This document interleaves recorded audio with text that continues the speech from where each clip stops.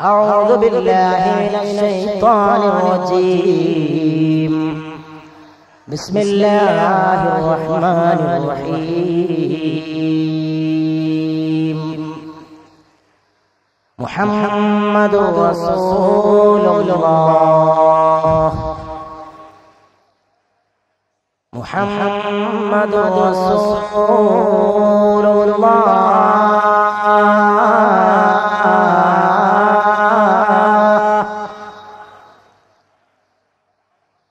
محمد رسول الله والذين معه والذين معه أشداء على الكفار. أشداء على الكفار رحماء بينهم تراهم ركعا سجدا. ركعا سجدا يبتغون فضلا من الله. فضلا من الله ورضوانا. صدق الله صدق الله صدق الله مولانا العلي العظيم وصدق وبلغنا سيدنا ونبينا رسوله الكريم. ونحن على ذلك من الشاهدين الشاكرين. والحمد لله رب العالمين. قال سيدنا ونبينا وحبيبنا محمد رسول الله. صلى الله عليه وآله وصحابه وسلم. رحم الله أبا بكر. زوجني ابنته. وحملني إلى دار الهجرة. وصحبني في الغار. وأعتق بلالا من مالي رحم الله عمر. يقول الحق وإن كان مرة تركه الحق وما له من صديق. رحم الله عثمان. يستحي منه الملائكة. رحم الله عليا. اللهم أدر الحق معه حيث دار صدق الرسول الكريم صلى الله عليه وآله وصحابه وسلم. اللهم صل وسلم وبارك. اللهم صل وسلم وبارك. اللهم صل وسلم وبارك على رسولك نبينا وسيدنا. وحبيبنا ومحبوبنا ومعشوقنا ومرشدنا ومصطفانا ومجتبانا ومنجينا وهادينا وقرة أعيننا وثمرة فؤادنا محمد محمد النبي الأمي نبي الرحمة وأزواجه وذريته وأهل بيته وأصحابه أجمعين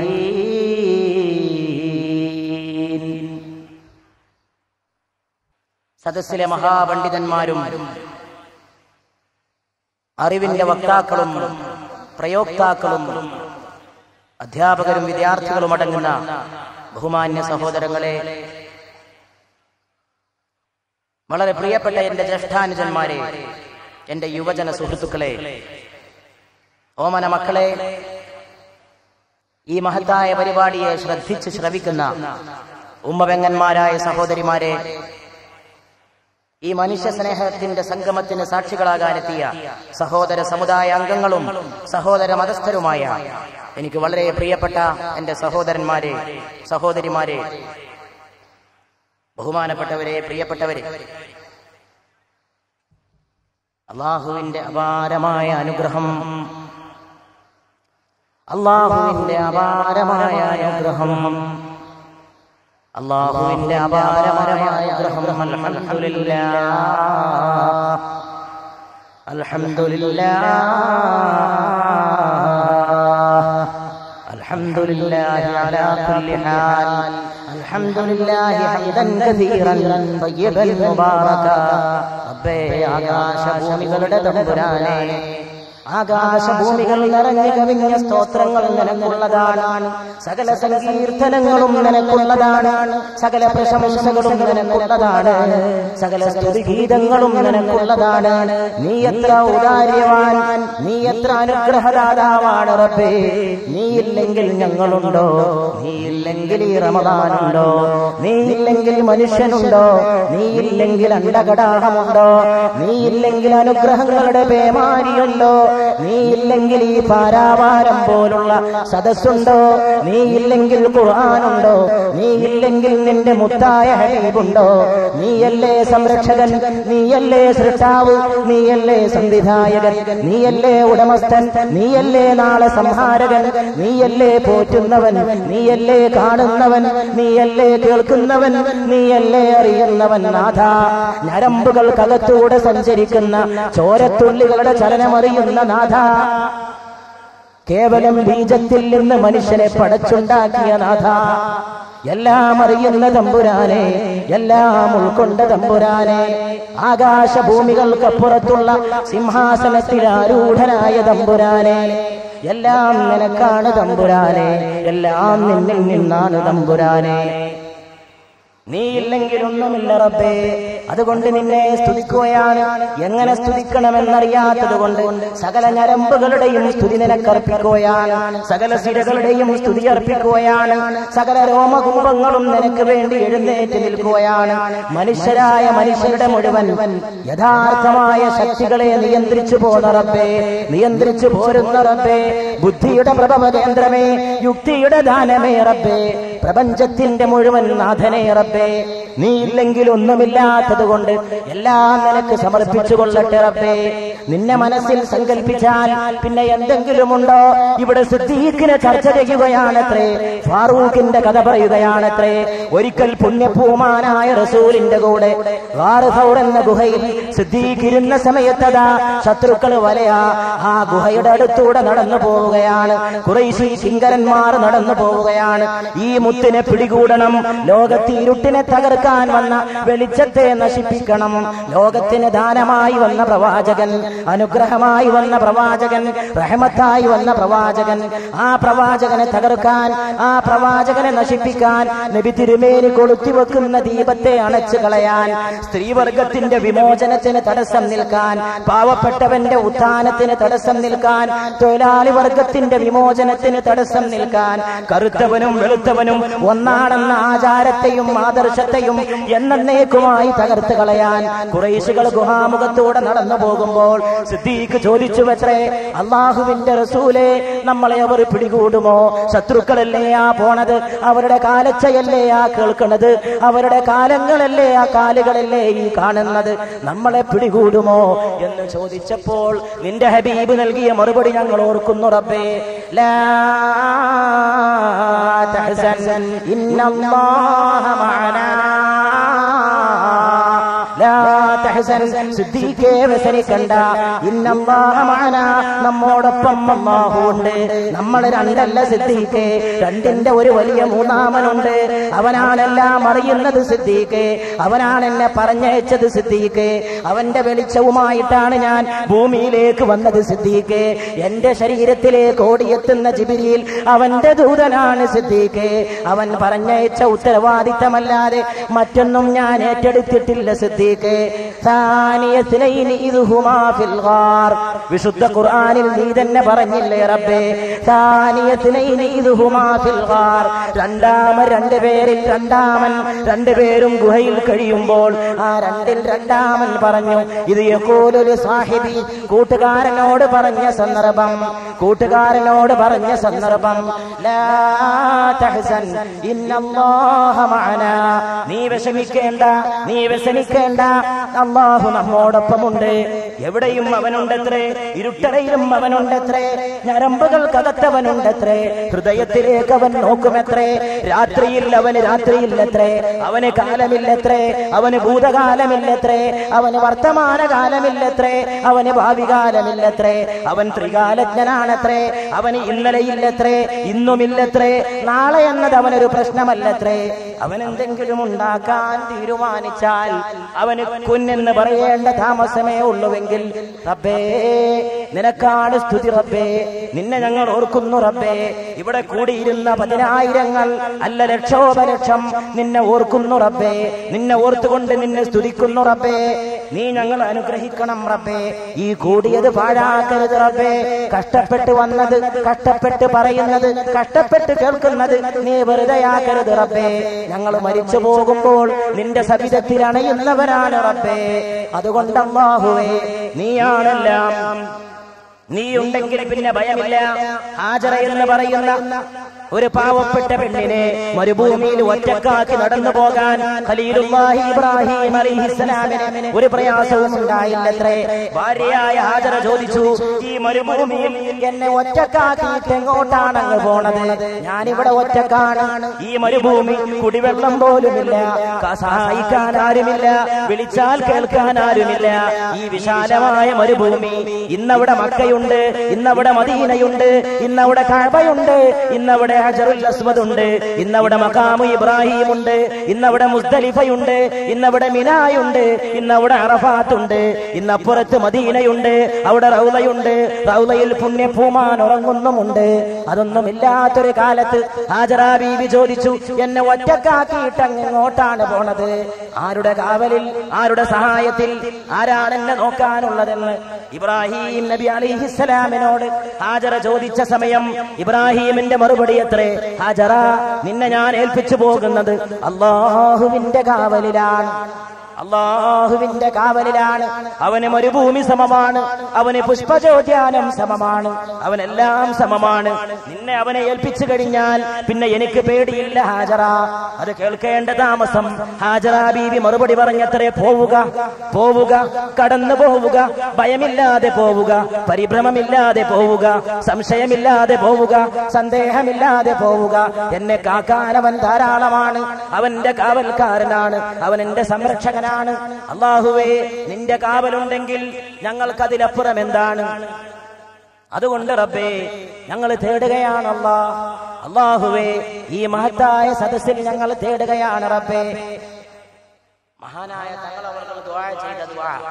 അത് നീ കബൂലാക്കണേ റബ്ബേ എന്ന് ഞങ്ങൾ എല്ലാവരും കൂടി ദുആ ചെയ്യുകയാണ് റബ്ബേ. നിമിഷങ്ങൾക്ക് മുമ്പ് മഹാനായ ഞങ്ങളുടെ നേതാവ് പ്രാർത്ഥിച്ചു. അള്ളാഹുവേ നീ ഇത് ഞങ്ങളിൽ നിന്ന് കബൂലാക്കണേ എന്ന്. അള്ളാഹുമ്മ തഖബ്ബൽ മിന്നാ എന്ന്. ആ ദുആ കബൂലാക്കിയിട്ട് ഞങ്ങളെ ഈ രാത്രി അനുഗ്രഹിക്കണേ എന്ന് റബ്ബേ. ഞങ്ങൾ എല്ലാവരും കൂടി ഞങ്ങളുടെ നേതാവിന്റെ പിന്നാലെ നിന്നുകൊണ്ട് ഈ പുണ്യരാത്രിയിലെ പുണ്യ സദസ്സിൽ നിന്നോട് ദുആ ചെയ്യുകയാണ് റബ്ബേ. അള്ളാഹുവേ നീ ഞങ്ങളെ തട്ടിക്കളയരുത് റബ്ബേ. ഞങ്ങളെ തിരസ്കരിച്ച് കളയരുത് റബ്ബേ. നീ ഞങ്ങളെ ഒരിക്കലും കൈവടിയരുത് റബ്ബേ. നീ ഞങ്ങളോടൊപ്പം ഉണ്ടെങ്കിൽ ഞങ്ങൾക്ക് ഭയമില്ല റബ്ബേ. അല്ലാമ പാടിയ പോലെയാണ് നിന്റെ സ്ഥിതി. തോ ക്യാ ഹോതാ തോ ക്യാ ഹോതാ വഹി ഹോതാ മൻസൂർ ഖുദാ ഹോതാ വഹി ഹോതാ മൻസൂർ ഖുദാ ഹോതാ ശത്രു എന്ത് വിചാരിച്ചാൽ എനിക്കെന്താണ്? അല്ലാമായ പാടട്ടെ. ശത്രു എന്ന് വിചാരിച്ചാൽ എന്താണ്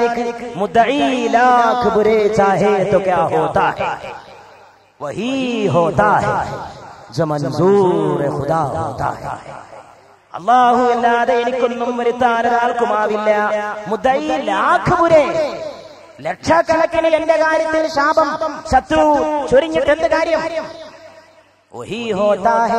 അത് മാത്രമേ സംഭവിക്കുകയുള്ളൂ.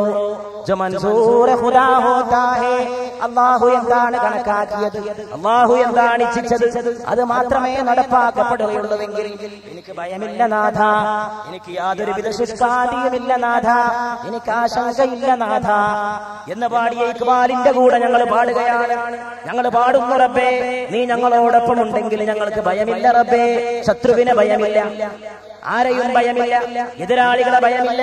സമുദായത്തിന്റെ ഐക്യം തകർക്കാൻ ഓടി നടക്കുന്ന കഴുകന്മാരെ ഭയമില്ല. ദീനിന്റെ ശത്രുക്കളെ ഭയമില്ല. ഇസ്ലാമിന്റെ എതിരാളികളെ ഭയമില്ല. അള്ളാഹുവേ നിന്റെ ദീനിന് വേണ്ടി പ്രവർത്തിക്കുന്നവർക്ക് നേരെ കുരച്ചു ചാടുന്ന എതിരാളികളെ ഭയമില്ല. നിന്റെ സമൂഹത്തിൽ പഴകിയ ഞങ്ങളുടെ പാരമ്പര്യമുള്ള നേതാക്കന്മാർ പാടുപെട്ട് കെട്ടിപ്പടുത്ത വിലപ്പെട്ട ഐക്യം തകർക്കാൻ ശ്രമിക്കുന്ന ഭിന്നിപ്പിന്റെ വക്താക്കളെ ഭയമില്ല റബ്ബേ. നീ ഞങ്ങളോടൊപ്പം ഉണ്ടെങ്കിൽ നീ അനുഗ്രഹിക്കുമെങ്കിൽ നിന്റെ ദാനമുണ്ടെങ്കിൽ നിന്റെ ഉജ്ജ്വലമായ അനുഗ്രഹങ്ങൾ ഞങ്ങൾക്ക് ലഭ്യമാകുമെങ്കിൽ. അള്ളാഹുവേ ഞങ്ങൾക്ക് യാതൊരു ഭയവുമില്ല റബ്ബേ. അതുകൊണ്ട്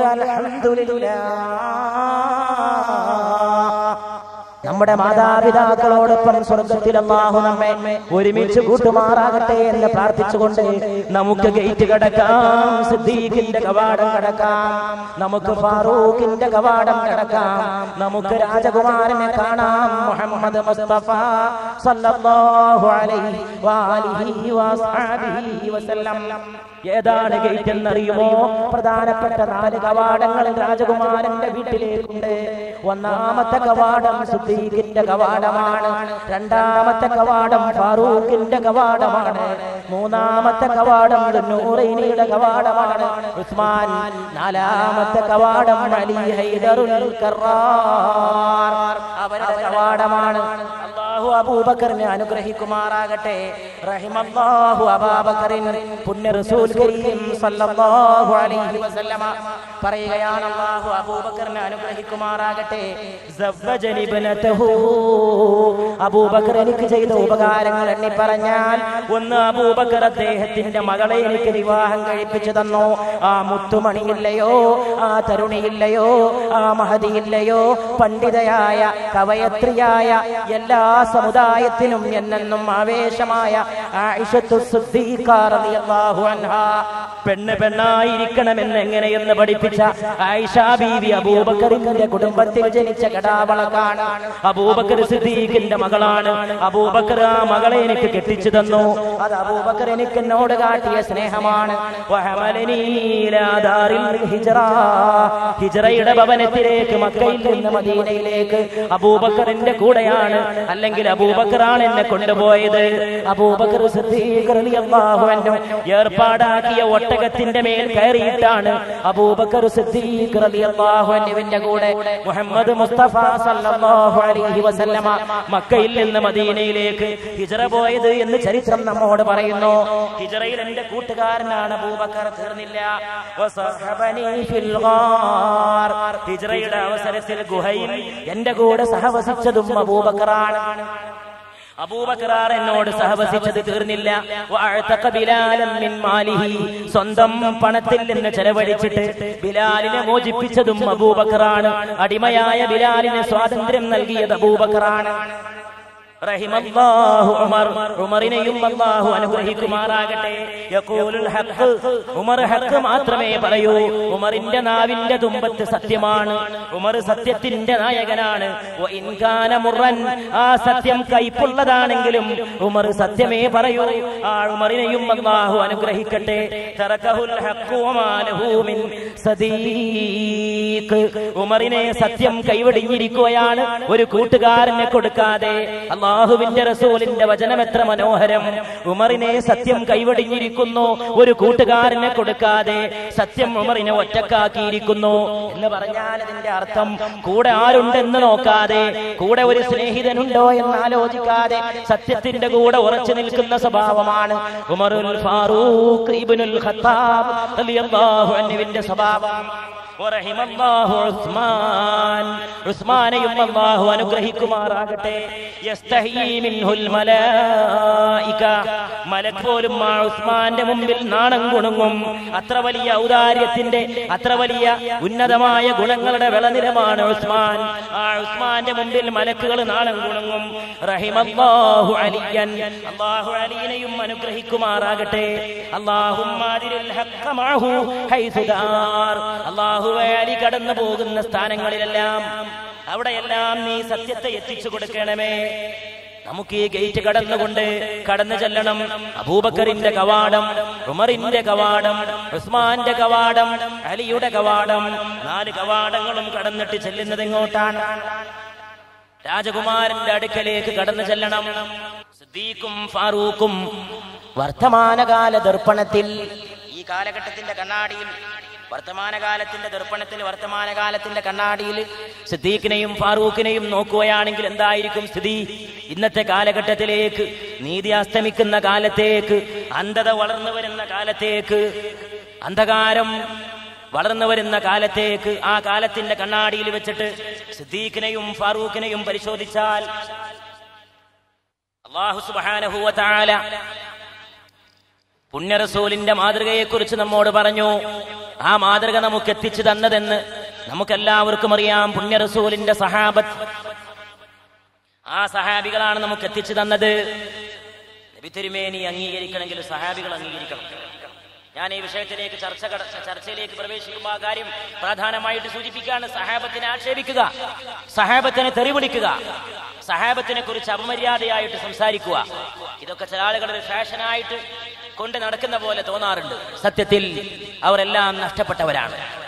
മുഹമ്മദ് മുസ്തഫ സല്ലല്ലാഹു അലിഹി വസല്ലമ എന്താണോ കൊണ്ടുവന്നത് എന്താണോ പറഞ്ഞത് എന്താണോ ചെയ്തത് എങ്ങനെയാണോ ജീവിച്ചത് എന്ന് നമ്മെ അറിയിച്ചു തന്നത് ആരാണ്? സഹാബത്താണ് സഹാബത്ത് നമ്മെ അറിയിച്ചു തന്നു. ആ സഹാബികൾക്ക് നാല് നായകന്മാർ ഹുലഫ ഉർ റാഷിദീങ്ങൾ. അബൂബക്കറാണ് ഉമറാണ് ഉസ്മാനാണ് അലിയാണ്. ഈ ലോകത്ത് ഏറ്റവും മഹാന്മാരാരാണ്? എല്ലാവർക്കും അറിയാം അള്ളാഹുവിന്റെ അമ്പിയാക്കളാണ്. സയ്യിദുന അബുൽ ബഷർ ആദം അലൈഹിസ്സലാം മുതൽ സയ്യിദുന നബിയുന മുഹമ്മദുർ റസൂലുള്ളാഹ് സല്ലല്ലാഹു അലൈഹി വസല്ലം അവരെ നീണ്ടുപോകുന്ന മഹത്തായ പട്ടികയിലെ പ്രവാചകന്മാർ. അമ്പിയാ മുർസലീങ്ങളിൽ ആരാണ് ഏറ്റവും മഹത്വമുള്ളത്? ആരും സംശയിക്കുന്നില്ല. ലോകത്തെ ഏറ്റവും ഉത്കൃഷ്ടൻ മുഹമ്മദ് മുസ്തഫ.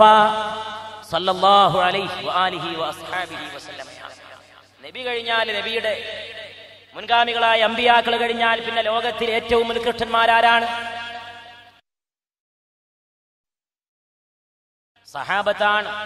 ആ സഹാബികളിൽ ഏറ്റവും ഉത്കൃഷ്ടന്മാർ ആരാണ് ഒന്നാമൻ അബൂബക്കർ രണ്ടാമൻ ഉമർ മൂന്നാമൻ ഉസ്മാൻ നാലാമൻ അലി റളിയല്ലാഹു തആല അൻഹും. എങ്ങനെയാണോ അവരുടെ ഖിലാഫത്തിന്റെ ക്രമം അതനുസരിച്ചാണ് അവരുടെ മഹത്വത്തിന്റെയും ക്രമം എന്നാണ് ഇസ്ലാമിലെ മഹാപണ്ഡിതന്മാർ അതിന് നൽകിയിട്ടുള്ള വ്യാഖ്യാനം. ആരാണ് ആദ്യം ഖലീഫ? ആൾ ഏറ്റവും മഹാൻ. ആരാണ് രണ്ടാമത്തെ ഖലീഫ? ആൾ പിന്നെ മഹാൻ. ആരാണ് മൂന്നാമത്തെ ഖലീഫ? ആൾ മൂന്നാം സ്ഥാനത്ത്. ആരാണ് നാലാം ഖലീഫ? ആൾ നാലാമത്തെ സ്ഥാനത്ത്. അതിനുശേഷം പിന്നെ ആര്? പിന്നെ സ്വർഗം കൊണ്ട് വാഗ്ദാനം നൽകപ്പെട്ട പത്ത് പേരിൽ ഈ നാല് പേരാണ് ആദ്യത്തെ ആളുകൾ. അത് കഴിഞ്ഞുള്ള ബാക്കി ആറാളുകൾ. സഅദുൻ സഈദുൻ തൽഹ സുബൈർ അബ്ദുറഹ്മാൻ ഇബ്നു ഔഫ് അബൂ ഉബൈദത്തുൽ ജറാഹ് റളിയല്ലാഹു തആല അൻ കുല്ലി വാഹിദ് മിൻഹും അജ്മഈൻ. ആ ആറും റാഷിദീങ്ങളായ നാലും കൂട്ടിച്ചേർത്ത് പത്ത്. ആ പത്താളുകൾക്ക് റസൂലുള്ളാഹി സ്വല്ലല്ലാഹു അലൈഹി വസല്ലം ഈ ഭൂമിയിൽ വെച്ച് തന്നെ സ്വർഗം ഉറപ്പ് നൽകുകയുണ്ടായി. അതുകൊണ്ടാണ് അവരെ നമ്മൾ അഷറത്തുൽ മുബശ്ശരീങ്ങൾ എന്ന് വിളിക്കുന്നത്. റസൂലുള്ളാഹി സ്വല്ലല്ലാഹു അലൈഹി വസല്ലമയുടെ സഹാബത്തിനെ ബഹുമാനിക്കുക എന്നുള്ളത് സത്യവിശ്വാസിയുടെ വിശ്വാസപരമായ കടമയാണ്.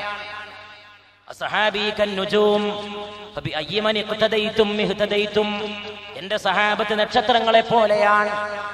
അതിൽ നിന്ന് ആരെ പിൻപറ്റിയാലും നിങ്ങൾക്ക് സന്മാർഗം ലഭിക്കും എന്ന് റസൂലുള്ളാഹി സ്വല്ലല്ലാഹു അലൈഹി വസല്ലം നമ്മെ അറിയിച്ചു. നാം ആ കൂട്ടത്തിലെ നാല് തലവന്മാരിൽ ഒന്നാമന്റെ അടുക്കലേക്ക് കടന്നു ചെല്ലുക.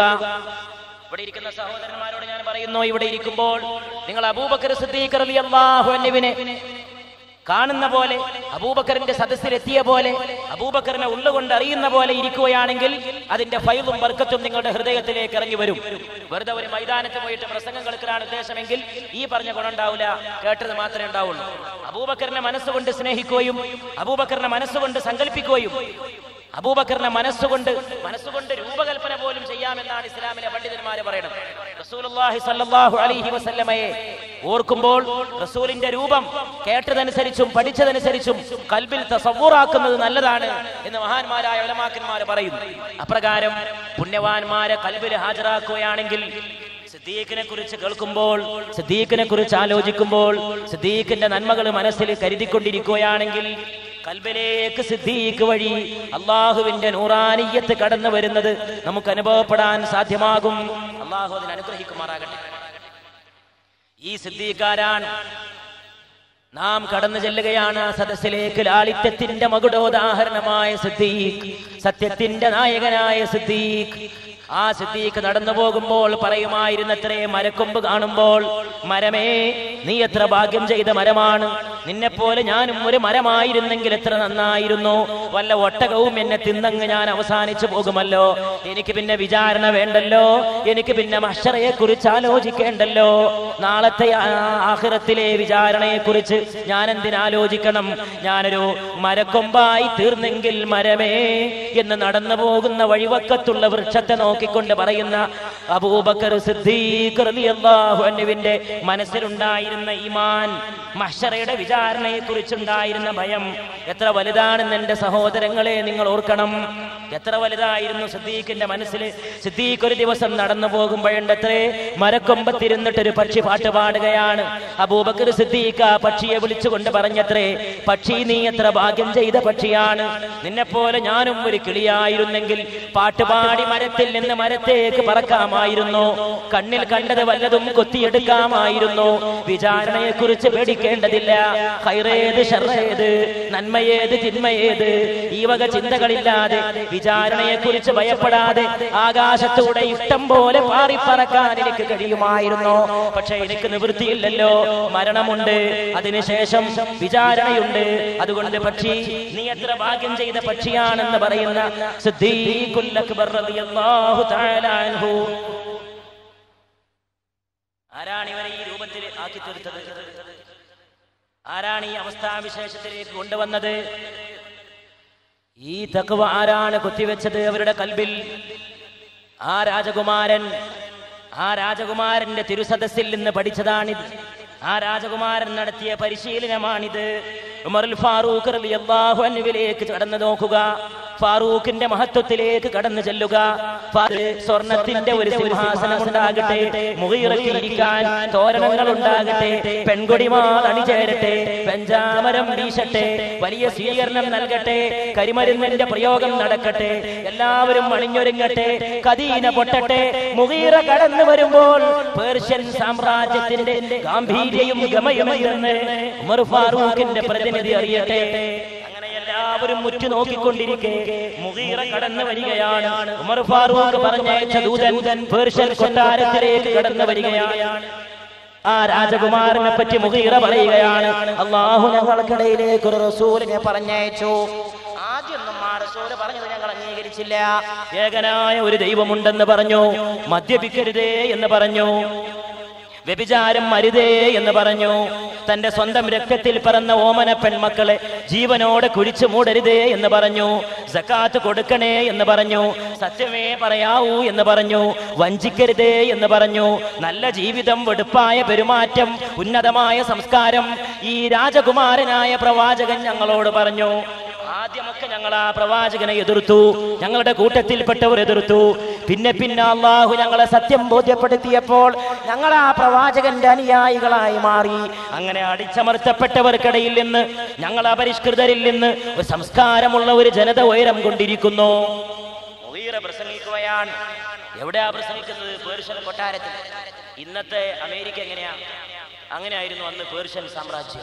പേർഷ്യൻ രാജാവിന്റെ മുഖത്ത് നോക്കിയാണ്. ഈ സാധാരണക്കാരൻ ഒരു പരിപരുത്ത തുണിയും കുപ്പായി വിട്ടിട്ട് അരയിൽ വാളും തൂക്കി വന്നിട്ട് പ്രസംഗിക്കാണ് എന്റെ ദീനിന്റെ ആദർശം ഇതാണ്.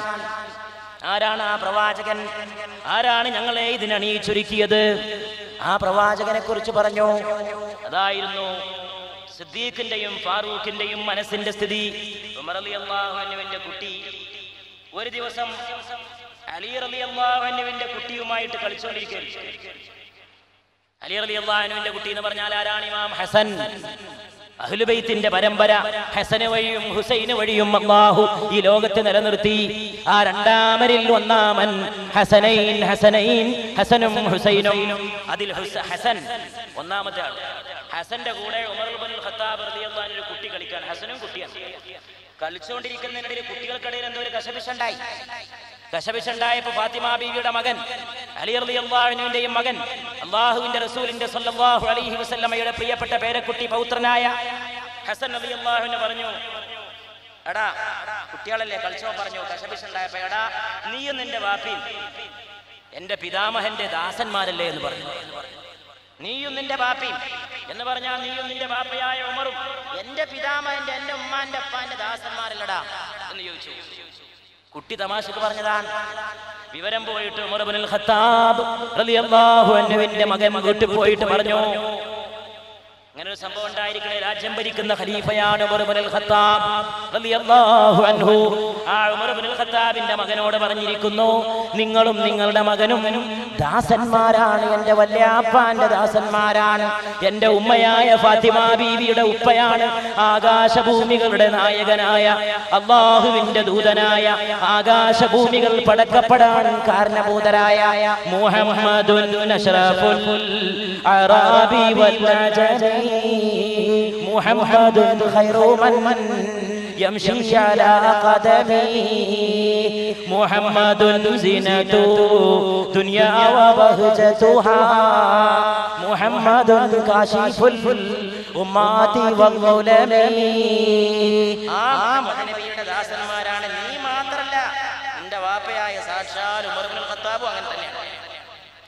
ഉമർ അലി അള്ളാഹുവിന്റെ നേരെ അലീബിൻ അബി താലിബ് അലി അള്ളാഹുവിന്റെ വീട്ടിൽ പോയിട്ട് കംപ്ലൈന്റ് പറഞ്ഞു ആക്ഷേപം. അങ്ങനെ സംഭവം ഉണ്ടായിരിക്കുന്നു കുട്ടികൾക്കിടയിൽ. അത് തീർക്കണം. അലി അലി അള്ളാഹു തന്റെ മകനായ ഹസനെ വിളിക്കുന്നു ഹസനെ എവിടെ വാ? അങ്ങനെ ഒരു സംഭവം ഉണ്ടായോ? നീ ഇങ്ങനെ പറഞ്ഞോ? ആ ഞാൻ അങ്ങനെ കളിച്ചപ്പോ പറഞ്ഞു ശരിയാ പറഞ്ഞു പോയി അലി അലി അള്ളാഹുവിന് ഉമർ ഫാറൂഖ് അലി അള്ളാഹിനോട് പറഞ്ഞു സാരില്ല കുട്ടികളല്ലേ എന്ന് പറഞ്ഞു. ഉമർ ഇബ്നുൽ ഖത്താബ് റളിയല്ലാഹു തആല അൻഹു പറഞ്ഞു കുട്ടിയെ വിളിച്ചിട്ട് മോനെ. ഹസനെ വിളിച്ചിട്ട് പറഞ്ഞു മോനെ കുട്ടിയാ പറഞ്ഞ കാര്യം ഒരു കടലാസിൽ എഴുതുമെന്ന് ചോദിച്ചു. കുട്ടി ആ പറഞ്ഞ കാര്യം ഒരു കടലാസിൽ എഴുതുമോ?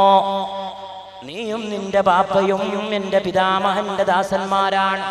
അതൊരു കടലാസിൽ എഴുതി തരുമോ കടലാസിൽ എഴുതി തരുമോ ആളുകൾ കൂടിയ സദസ്സിൽ വെച്ചിട്ട് രാജ്യം ഭരിക്കുന്ന ഖലീഫ ഈ കൊച്ചുകുട്ടിയോട് ചോദിക്കുകയാണ്. ഹസൻ നബി അള്ളാഹു അന്നുവിനോട് ചോദിക്കുകയാണ്. ഹസൻ നബി അള്ളാഹു എന്നെ കടലാസിൽ എഴുതി കൊടുത്തു. എന്തിനാണെന്നറിയില്ല. ഖലീഫല്ലേ എഴുതാൻ പറഞ്ഞിരിക്കുന്നു? എഴുതി കൊടുത്തു. എഴുതി കൊടുത്തിട്ട് ആളുകൾ മുഴുവൻ മദീനായിലെ മസ്ജിദിൽ തടിച്ചുകൂടിയ സമയത്ത്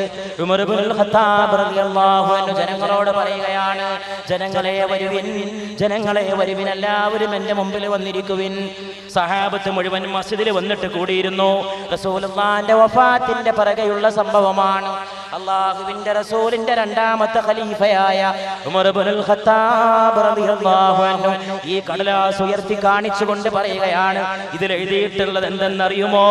നീയും നിന്റെ ബാപ്പയും എന്റെ പിതാമഹന്റെ ദാസന്മാരാണ്. ഇത് എഴുതിയതാണെന്നറിയുമോ? റസൂലിന്റെ മകളുടെ മകനായ ഹസനാണ്. അതുകൊണ്ട് ജനങ്ങളെ നാളെ ആഹ്റത്തിൽ ഈ കടലാസിൽ എഴുതിയതിന് നിങ്ങൾ സാക്ഷി നിൽക്കണേ. ജനങ്ങളെ ഇങ്ങനെയായിരുന്നു സത്യമെന്ന് നിങ്ങൾ മഷറയിൽ വിളിച്ചു പറയണേ. ഞാൻ റസൂലുള്ളാന്റെ ദാസനായിരുന്നു. ഞാനൊരു അടിമ മാത്രമായിരുന്നു. ഞാൻ മറ്റൊന്നുമല്ല. ഈ കുഞ്ഞുമോൻ എഴുതിയത് ഇത് വെറും കുട്ടികൾക്കിടയിലെ കളിതമാശക്കിടയിൽ പറഞ്ഞതല്ല. നാളെ എന്നെ വിചാരണക്കായിട്ട് അള്ളാഹു കൊണ്ടുവരുമ്പോ നിങ്ങൾ എല്ലാവരും കൂടി എഴുന്നേറ്റ് നിന്നിട്ട് സാക്ഷി പറയണേ റബ്ബേ.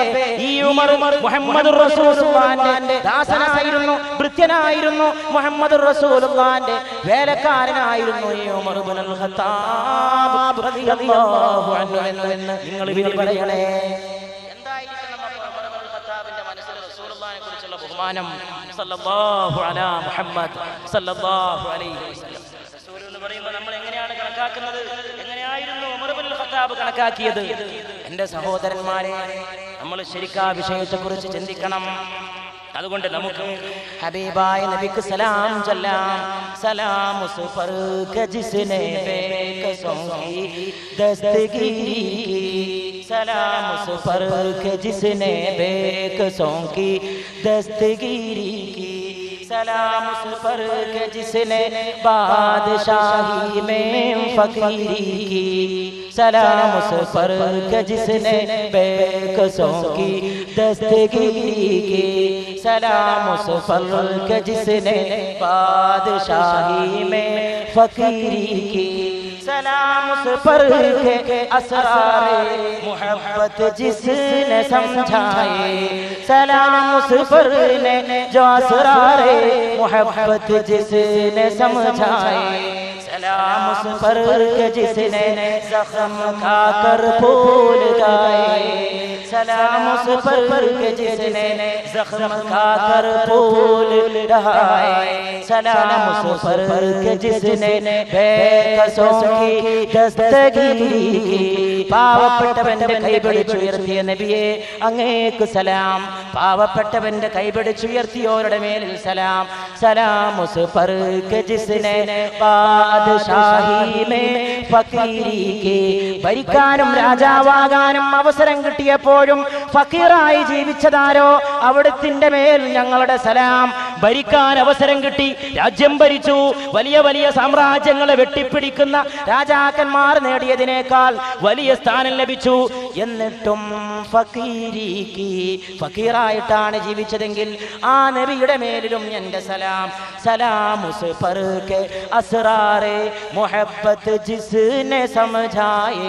ആരാണോ മുഹബത്തിന്റെ രഹസ്യങ്ങൾ അള്ളാഹുവിനോടുള്ള പ്രേമത്തിന്റെ രഹസ്യങ്ങൾ ആരാണോ വെളിവാക്കി തന്നത്? അവർക്കും നമ്മുടെ സലാം. സലാമുസ് പറുക്കെ സഹം കാക്കർ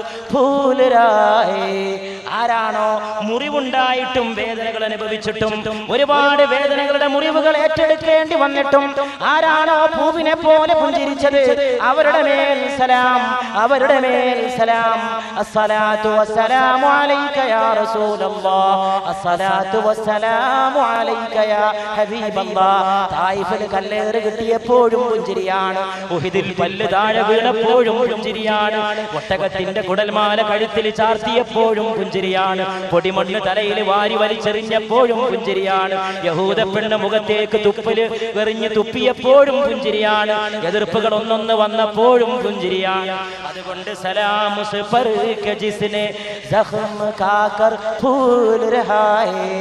ആരാണോ വേദനകൾക്കിടയിലും പൂവിനെ പോലെ പുഞ്ചിരിച്ചത് അവരുടെ മേൽ ഞങ്ങൾക്ക് സലാം. സലാം जिसने खून के प्यासों को बाए दे ചോര ദാഹിച്ചു വന്ന ആളുകൾക്ക് ആ ചോരദാഹത്തിന് പകരം അവരുടെ മനസ്സിനെ നന്നാക്കിയെടുത്തതാരാണോ അവർക്കും ഞങ്ങളുടെ സലാം സലാം ഉസ് पर के जिसने गालियां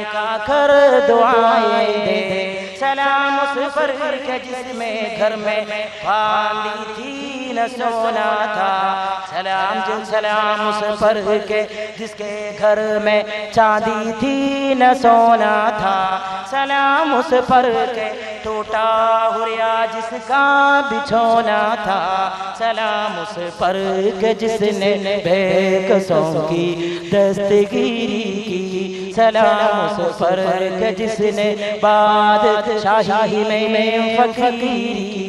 سلام اس پر لے جو، جس نے سچائی کی خاطر دکھا، اٹھا تھا، سلام اس پر جو سب سکا سنسوگار غوروں کو کھلاتا تھا۔ سلام اس پر کے جس نے جھولیا مرائے فقیروں کی۔ سلام اس پر کے مشکن کھول دے جس نے امیروں کی۔ سلام اس پر کہ جس نے بے قصوں کی دستگیری کی۔ سلام اس پر نے جس نے بادشاہی میں فقیری کی۔ سلام درود اس پر کہ جس کے ذکر سے سیرین نہیں ہوتی۔ درود اس پر کہ جس کے بہار گلشن عالم جسے کہیے۔ درود اس پر ذات ഫഖ്റ ബനി ആദം ജിസേ കഹിയേ. അങ്ങേക്ക് ഞങ്ങളുടെ സലാം. ചീത്ത കേട്ടപ്പോഴും പുഞ്ചിരിച്ചോരെ അങ്ങേക്ക് സലാം. ജിസിനെ മറ്റുള്ളവർ ആക്ഷേപിച്ച് ചീത്ത പറഞ്ഞപ്പോൾ ചീത്ത പറഞ്ഞവന് മാലയിട്ട് കൊടുത്ത നബിയെ അങ്ങേക്ക് സലാം. ആക്ഷേപിച്ചവന് മാലയിട്ട് കൊടുത്തോരെ അങ്ങേക്ക് സലാം. സലാം ഉസ് പർ ജിസ്കെ ഘർ മേ ചാന്ദി തീ സോനാ था सलाम उस पर के जिसके घर में चांदी थी न सोना था ആരുടെ വീട്ടിലായിരുന്നു എന്നെ ചാന്തി തീ സ്വർണം വെള്ളിയില്ല എന്നെ സോനാഥ സ്വർണവുമില്ല ആ നബിയെ അങ്ങേക്ക് ഞങ്ങളുടെ സലാം ഫാത്തിമ ബീവി ഒരു ദിവസം സ്വർണത്തിന്റെ ഒരു വളയിട്ടത്രേ നബി യുദ്ധം കഴിഞ്ഞ് മടങ്ങി വരുന്നത് കാണാനുള്ള സന്തോഷത്തിൽ മദീന മുഴുവനാൽ ആനന്ദത്തിലാണ് ആനന്ദത്തിൽ ആറാടുകയാണ് താലഅൽ ബദ്റു അലൈനാ فاختفت منه ബുദൂറു എല്ലാ പൂർണചന്ദ്രന്മാരെയും അസ്തമിപ്പിച്ചു കളഞ്ഞ പൂർണമായ പൂർണചന്ദ്രൻ എന്ന് മദീനക്കാർ പാടി പുകഴ്ത്തിയ നബി തിരുമേനി യുദ്ധം കഴിഞ്ഞ് മടങ്ങി വരുമ്പോൾ മദീനയിലെ ആനന്ദത്തിന്റെ ആഘോഷമാണ് അതിൽ പങ്കുകൊള്ളാൻ വേണ്ടി ഫാത്തിമ ബീവി ഒരു വളയിട്ടു ഒരു ചെറിയ സ്വർണത്തിന്റെ വളയിട്ടു നബി തിരുമേനി ഓടിയെത്തി യുദ്ധം കഴിഞ്ഞ് തിരിച്ചു വന്നു. മദീനയുടെ മസ്ജിദിലേക്ക് പോകുന്ന വഴിക്ക് മോളെ ഫാത്തിമ സ്നേഹത്തിന്റെ ആ വിളി മുഴങ്ങി. എവിടെയായാലും പോയി വന്നാൽ ആദ്യം ഫാത്തിമയുടെ മൊഴി കേൾക്കണം. ആദ്യം ഫാത്തിമയെ ഒരു നോക്ക് കാണണം. ഫാത്തിമയെ തലോടണം. എന്റെ കരളിന്റെ കഷ്ണമാണ് ഫാത്തിമ. ഫാത്തിമ എന്റെ കരളിന്റെ കഷ്ണമാണെന്ന് വിളിച്ചു പറഞ്ഞ മുഹമ്മദ് മുസ്തഫ സല്ലല്ലാഹു അലൈഹി വസല്ലം. സ്വർഗത്തിലേക്ക് പെണ്ണുങ്ങൾക്ക് നേതൃത്വം കൊടുക്കുന്നത്. എടീ മോളെ നീയാണ് ഫാത്തിമ എന്ന് വിളിച്ചു പറഞ്ഞ റസൂലുള്ളാഹി അലൈഹി വസല്ലം. നേരെ വീട്ടിൽ മകളെ കാണാൻ ചെന്നപ്പോൾ സന്തോഷത്തോടെ ദിവസങ്ങൾക്ക് ശേഷം മകളെ കാണാനുള്ള ആനന്ദത്തോടെ മകളുടെ നേരെ നോക്കിയപ്പോൾ അതാ മുഖം വാടി അതാ മുഖം കുനിഞ്ഞുപോയി ഫാത്തിമ ബീവി ചോദിച്ചു എന്ത് പറ്റി അങ്ങേക്ക് എന്റെ പിതാവേ? അള്ളാഹുവിന്റെ റസൂലായി വന്ന എന്റെ പിതാവേ മിറാജിന്റെ രാവിൽ റബ്ബിനെ കണ്ടു വന്ന ബാപ്പാക്ക് മകളാകാൻ ഭാഗ്യമുണ്ടായ ഫാത്തിമ. അള്ളാനെ കണ്ടു വന്ന പിതാവിന്റെ രക്തത്തിൽ ജനിച്ച ഫാത്തിമ. അള്ളാഹുവിന്റെ അടുക്കൽ നിന്ന് സംഭാഷണം നടത്തിയ മഹാനായകന്റെ മകളായി പറന്ന ഫാത്തിമ. ജിബിരിയിലിനെ കെട്ടിപ്പിടിച്ച ശരീരത്തിൽ നിന്ന് ജന്മം കൊണ്ട ഫാത്തിമ. ആ ഫാത്തിമ ചോദിച്ചു അങ്ങേക്ക് എന്ത് പറ്റി? അങ്ങെന്തേ എന്നെ സന്തോഷത്തോടെ വിളിച്ചിട്ട് പിന്നെ എന്തേ മുഖം വാടിപ്പോയത്? മോളെ നിന്റെ കയ്യിൽ എന്താണ്? മോളെ നിന്റെ കയ്യിൽ എന്താണ് അതൊരു ചെറിയ വളയാണ്. അള്ളാഹുവിന്റെ റസൂലേ എന്റെ പ്രിയപ്പെട്ട പിതാവേ അങ്ങ് വരുന്ന സന്തോഷം ആഘോഷിക്കാനാണ് പിതാവേ. മോളെ ഫാത്തിമ സന്തോഷം ആഹ്റത്തിലെ സന്തോഷം മതിയോ? അതോ ദുനിയാവിലെ സന്തോഷമാണോ ഫാത്തിമ? അള്ളാഹുവിന്റെ സ്വർഗത്തിലെ ആഘോഷമാണോ അവിടുത്തെ സന്തോഷമാണോ വലുത് ഫാത്തിമ? അതുകൊണ്ട് ഊരിക്കളയടി ഫാത്തിമ.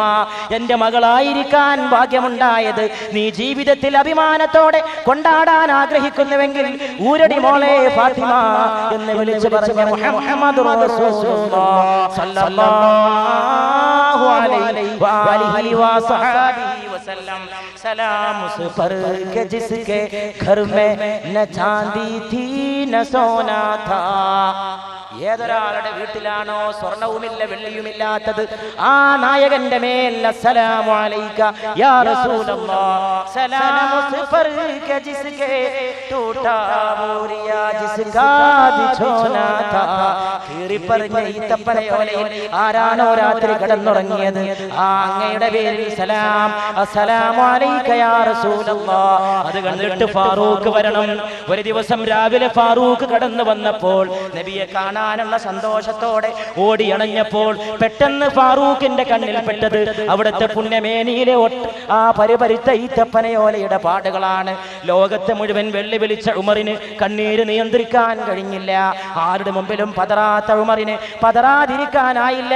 ഗദ്ഗത കണ്ടനായി അടുപ്പത്ത് വെച്ച പാത്രത്തിലെ വെള്ളം തിളക്കുന്ന പോലെ പൊട്ടിക്കരഞ്ഞ ഉമറിനോട് റസൂൽ ചോദിച്ചു ഉമറെ എന്തു പറ്റി ഇത്ര വലിയ സങ്കടത്തിന്? ഉമർ പറഞ്ഞു കൈസറും കിസറയുടെ പട്ടിന്റെ കൊട്ടാരത്തിൽ നിദ്ര കൊള്ളുന്നു നബിയെ. നിങ്ങൾക്ക് ഈത്തപ്പനയിലെ ഓലയിൽ ഉറങ്ങാനാണല്ലോ വിധി. അങ്ങ് അവരെക്കാൾ മഹാനല്ല നബിയെ. കിസ്രയുടെ കൈസറിന്റെ കൊട്ടാരങ്ങളിൽ അവർ നിദ്ര കൊള്ളുന്നു പേർഷ്യൻ രാജാവ്.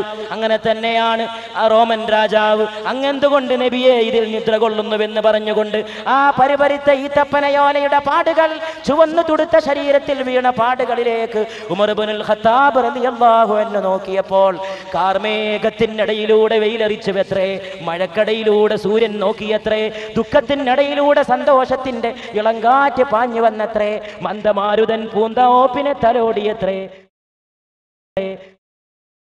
മഴക്കടയിലൂടെ സൂര്യൻ നോക്കിയത്രേ ദുഃഖത്തിനിടയിലൂടെ സന്തോഷത്തിന്റെ ഇളങ്കാറ്റ് പാഞ്ഞു വന്നത്രേ മന്ദമാരുതൻ പൂന്തോപ്പിനെ തലോടിയത്രേ ഹൃദയങ്ങൾക്ക് കുളിരായത്രേ ഉമറിന്റെ കണ്ണീര് അടങ്ങിപ്പോയത്രേ ഉമറെ ആ ചുമലിൽ പിടിച്ചുകൊണ്ട് നായകൻ പറയുകയാണ് കിസറക്കും കൈസറക്കും പട്ടുമറ്റ ദുന്യാവിൽ മാത്രമാണ് അവർക്ക് ആഹ്റത്തിലൊന്നുമില്ല ഉമറെ ആഹ്റത്തിലെ ഭാഗ്യം എനിക്കുള്ളതാണ് ഉമറെ അവിടെ മെത്ത എനിക്കാണ് ഉമറെ അവിടെ സ്വർണം എനിക്കാണ് ഉമറെ അവിടെ പട്ടന്റെതാണ് ഉമറെ അത് കണ്ടാൽ നിന്റെ കണ്ണീരടങ്ങുമോ ഉമറേ എന്ന് ചോദിക്കേണ്ട താമസം ഫാറൂഖിന്റെ കണ്ണുകൾ കരഞ്ഞുപോയി. അത് സന്തോഷത്തിന്റെ കണ്ണുനീര് അത് ദുഃഖത്തിന്റെ കണ്ണുനീരല്ല അത് ആനന്ദത്തിന്റെ കണ്ണുനീര് കൊണ്ട് ഉമർ സന്തോഷത്തിന്റെ ആധിക്യം കൊണ്ട് ആ പൂർണചന്ദ്രന്റെ മുഖത്തേക്ക് നോക്കിപ്പോയി. അതുകൊണ്ട് കീറി പറഞ്ഞ പായയിൽ കിടന്നോരെ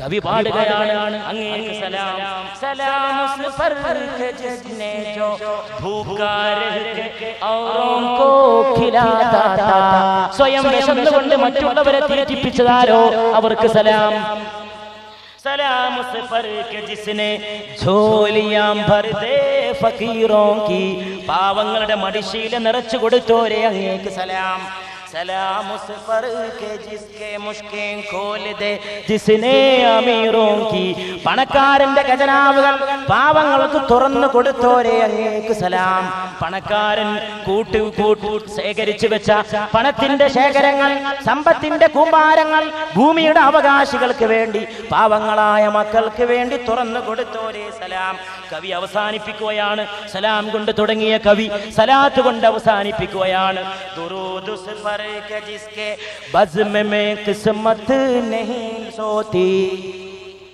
जिसकी बज़्म में किस्मत नहीं सोती ആരുടെ സഭയിലാണോ ഭാഗ്യം ഉറങ്ങാത്തത് അവരുടെ സഭയുടെ നായകനും സലാം എന്താണ് ആ പറഞ്ഞത് ആരുടെ സഭയിലാണോ ഭാഗ്യം ഉറങ്ങാത്തത് നബിയുടെ സഭയിൽ ആരുറങ്ങിയാലും സൗഭാഗ്യത്തിന് ഉറക്കല്ല ഇരുപത്തിനാല് മണിക്കൂറും ഭാഗ്യം ഭാഗ്യം ഭാഗ്യം. അവിടെ കടന്നു വന്നവർക്കൊക്കെ ഭാഗ്യം. എന്തു ഉറങ്ങിയാലും അവിടെ ഭാഗ്യം ഉറങ്ങൂല. കവി വാഴ്ത്തപ്പെടട്ടെ. നല്ല നല്ല കവിതകൾ എഴുതുകയും നല്ല നല്ല വാക്കുകൾ പറയുകയും ചെയ്തവർ വാഴ്ത്തപ്പെടട്ടെ. ഈ ഒരൊറ്റ വാക്ക് എത്ര വലിയ സത്യമാണ് നമ്മോട് പറയുന്നത്? സലാം ഉസ് ജുറൂദ് ഉസ് पर के जिसके बज़्म में किस्मत नहीं सोती ഭാഗ്യം ഉറങ്ങാത്ത സഭയേത് ആ സഭയുടെ നായകന്റെ മേൽ സ്വലാത്ത് സല്ലല്ലാഹു അലാ മുഹമ്മദ് അള്ളാഹു അനുഗ്രഹിക്കുമാറാകട്ടെ ആ പ്രവാചകനെ ദുരൂദ് ഉസ് पर के जिसके जिक्र से सीरी नहीं होती ആരെ കുറിച്ച് പറഞ്ഞാലാണോ മടുപ്പുണ്ടാകാത്തത് അവർക്ക് സലാം എത്ര എത്ര റമദാനുകൾ വരട്ടെ എത്ര എത്ര സദസ്സുകൾ ഉണ്ടാകട്ടെ ആരൊക്കെ തടിച്ചു കൂടട്ടെ കിയാമത്ത് നാൾ വരെ ഉറവയറ്റാത്ത ഒരു വിഷയം ആകാശത്തിന് താഴെയുണ്ടെങ്കിൽ പ്രസംഗിക്കുന്നവർക്ക് എന്നെന്നും പ്രസംഗിക്കാൻ പറയുന്നവർക്ക് എന്നെന്നും പറയാൻ കേൾക്കുന്നവർക്ക് കേട്ടാലും കേട്ടാലും മതി വരാതെ കേൾക്കാൻ മടുപ്പ് വരാതെ കേൾക്കാൻ ആകാശത്തിന്റെ താഴെ ഒരു വിഷയമേ ഉള്ളൂ. മുഹമ്മദുൻ മുഹമ്മദുൻ മുഹമ്മദു. അതിന് മാത്രം മടുപ്പില്ല. സിദ്ദീഖിന്റെ ഫാറൂഖിന്റെ ഉസ്മാന്റെ നായകനെ കുറിച്ച് പറയുമ്പോൾ മാത്രം മടുപ്പില്ല. അതുകൊണ്ട് ആരെ കുറിച്ച് പറയുന്നത് മടുപ്പില്ലാതെ കേൾക്കാൻ കഴിയുമോ? അവരുടെ മേൽ സലാം.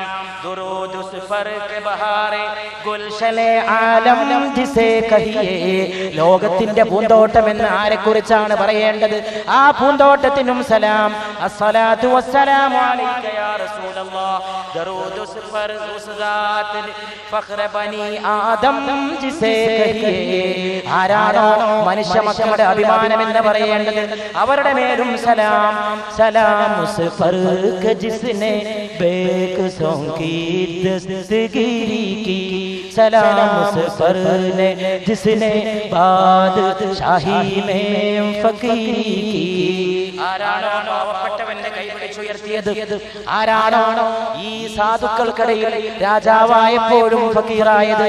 അവരുടെ മേൽ സലാം. അസ്സലാത്തു വസ്സലാമു അലൈക. യാ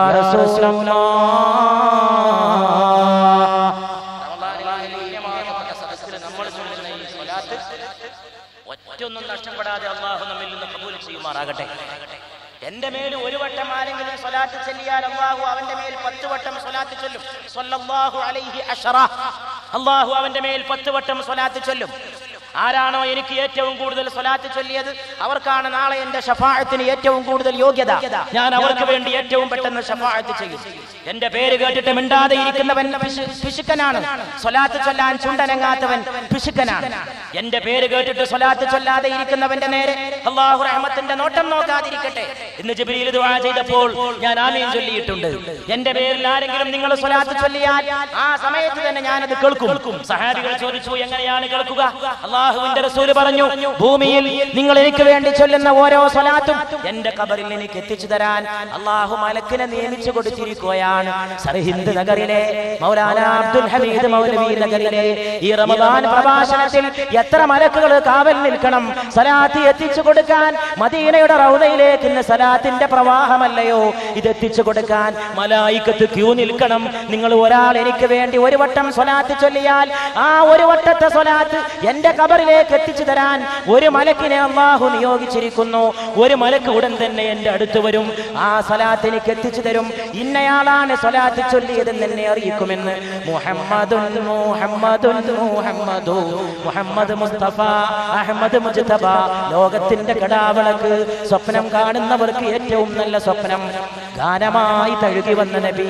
രാഗമായി ഒഴുകി വന്ന നബി സ്വപ്നമായി മറി മിന്നി മറിഞ്ഞ നബി മിന്നൽ പടർ പോലെ ജ്വലിച്ചു പോയ നബി മഴവില്ല് പോലെ വിവിധ വർണങ്ങൾ കാട്ടിയ നബി മാരുതനെ പോലെ തലോടിയ നബി നിലാവിനെ പോലെ കുളിര് നൽകിയ നബി ഭൂമിയെ പോലെ ക്ഷമിച്ച നബി ആകാശത്തെ പോലെ പരന്നു നിന്ന നബി തണൽ മരം പോലെ തണൽ നൽകിയ നബി മുല്ലപ്പൂ പോലെ സുഗന്ധം തന്ന നബി സുഗന്ധമായി വന്ന് സുഗന്ധമായി ലോകത്തോട് വിട പറഞ്ഞ നബി.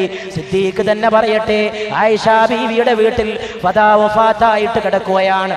ആളുകൾ പലരും കടന്നു പോണേ ആളുകൾ വന്നു പോണേ. വഫാത്തായ വാർത്ത വിശ്വസിക്കാൻ സഹാബത്തിന് ബുദ്ധിമുട്ടുള്ള സമയത്ത് ഒരു പെരും വീരശൂര പരാക്രമി വീടിന്റെ പുറത്തതാ വാളുയർത്തി ഉയർത്തിപ്പിടിച്ചുകൊണ്ട് പ്രസംഗിക്കുകയാണ്. അള്ളാഹുവിന്റെ റസൂലായ മുഹമ്മദ് വഫാത്തായി എന്നാരെങ്കിലും പറഞ്ഞാൽ അവന്റെ തല ഈ വാളുകൊണ്ട് ഞാൻ വെട്ടിയെടുക്കുമെന്ന് പറയുന്നത് മറ്റാരുമല്ല. വലങ്കയ്യായ ഉമർബിനുൽ ഖത്താബാണ്. വഫാത്തായിട്ട് ശരീരം അകത്ത് കിടക്കുകയാണ്. ശരീരം വഫാത്തായി. ആ ശരീരം ഈ ലോകത്തിൽ നിന്ന് മറഞ്ഞു. പുണ്യ റസൂലിന്റെ തടി മറഞ്ഞു. എല്ലാവരും വഫാത്തിന്റെ വേളയിൽ ആ വീട്ടിൽ പോയി മടങ്ങി വരുമ്പോഴും വഫാത്തായി എന്ന വാർത്ത വിശ്വസിക്കാൻ കഴിയാതെ ഷോക്കേറ്റ പോലെ ഉമർ പ്രസംഗിക്കുകയാണ്. മുഹമ്മദുർ റസൂലുള്ള എന്റെ കൺമണിയായ മുഹമ്മദുർ റസൂലുള്ള. വഫാത്തായി എന്ന് പറയുന്നവനെ എനിക്കൊന്ന് കാണണം. അവനെ വെട്ടാനുള്ള വാളിതാണ്. അവന്റെ തലയെടുത്തിട്ടേ ഉമർ മറ്റു പണിക്കൊരുങ്ങുന്നുള്ളൂ എന്ന് പറഞ്ഞപ്പോ സിദ്ദീഖ് നടന്നു വരികയാണ്. സിദ്ദീഖും ഫാറൂഖും വർത്തമാനകാല ദർപ്പണത്തിൽ രണ്ടാളും കൂടി ഒന്നിച്ച് മേളിക്കട്ടെ. സിദ്ദീഖ് കടന്നു വരികയാണ്. ഉമറിന്റെ പ്രസംഗം കണ്ടുകൊണ്ടാണ് കടന്നു വരുന്നത്. പക്ഷെ അത് ലേശം വകവെക്കാതെ നേരെ വീട്ടിലേക്ക് കടന്നു ചെല്ലുകയാണ്. ഏത് വീട്? മകളുടെ വീട്. ആയിഷാന്റെ വീട്. മകളുടെ വീട്ടിലാണ് അള്ളാന്റെ റസൂലഫാത്തായിട്ട് കിടക്കുന്നത് വീട്ടിലേക്ക് കടന്നു ചെന്നുകൊണ്ടതാ ആ പുണ്യമാക്കപ്പെട്ട ശരീരത്തിന്റെ രണ്ട് ചുമലുകളും പിടിക്കുകയാണ് സിദ്ദീഖ്. കിടക്കുന്ന ലോകനായകന്റെ രണ്ട് ചുമലുകളും കൈപിടിച്ചമർത്തുകയാണ് സിദ്ദീഖ്. എന്നിട്ട് സിദ്ദീഖ് കുനിയുകയാണ്. സഹാബികൾ ഉറ്റുനോക്കി സിദ്ദീഖ് കുനിഞ്ഞിട്ട് ആ മുഖത്ത് മുത്തം വെക്കുകയാണ്. വഫാത്തായി കിടക്കുന്ന പുണ്യതടിയിൽ മുത്തം വെച്ചുകൊണ്ട് സിദ്ദീഖ് പറയുകയാണ് ഓ വല്ലാത്ത സുഗന്ധം. ജീവിച്ചപ്പോഴും സുഗന്ധം വഫാത്തായപ്പോഴും സുഗന്ധം. അതും പറഞ്ഞ് സിദ്ദീഖ് തിരിച്ചു പോവുകയാണ്. രണ്ടാളെ ക്യാരക്ടർ നോക്കണം. ഈ രണ്ടും അള്ളാന്റെ റസൂൽ വളർത്തിയെടുത്തതാണ്. ഒരാൾ പുറത്ത് വാളെടുത്തിട്ട് പ്രസംഗിക്കണം. കൊല്ലു ഞാൻ. റസൂൽ വഫാത്തായി എന്ന് പറയുന്നവനെ ഈ വാൾ കൊണ്ട് ഞാൻ തട്ടും. ആ ഫാറൂഖിനെ വളർത്തിയതും മുഹമ്മദ് മുസ്തഫ. സല്ലല്ലാഹു അലൈഹി വസല്ലം. അതൊരു ഹൃദയം. സിദ്ദീഖോ വല്ലാത്ത സുഗന്ധം. അങ്ങ് ജീവിച്ചിരുന്നപ്പോഴും സുഗന്ധം. വാ وصفيا വാ ونبيا നബിയ വാ സഫിയ സഫിയേ വാ ഖലീല കൂട്ടാളിയേ. സിദ്ദീഖ് ചലനമറ്റ് കിടക്കുന്ന പുണ്യമാക്കപ്പെട്ട തടിയുടെ അടുത്ത് നിന്നുകൊണ്ട് സിദ്ദീഖ് വിളിച്ചു പറയുകയാണ് വാ വാ വാ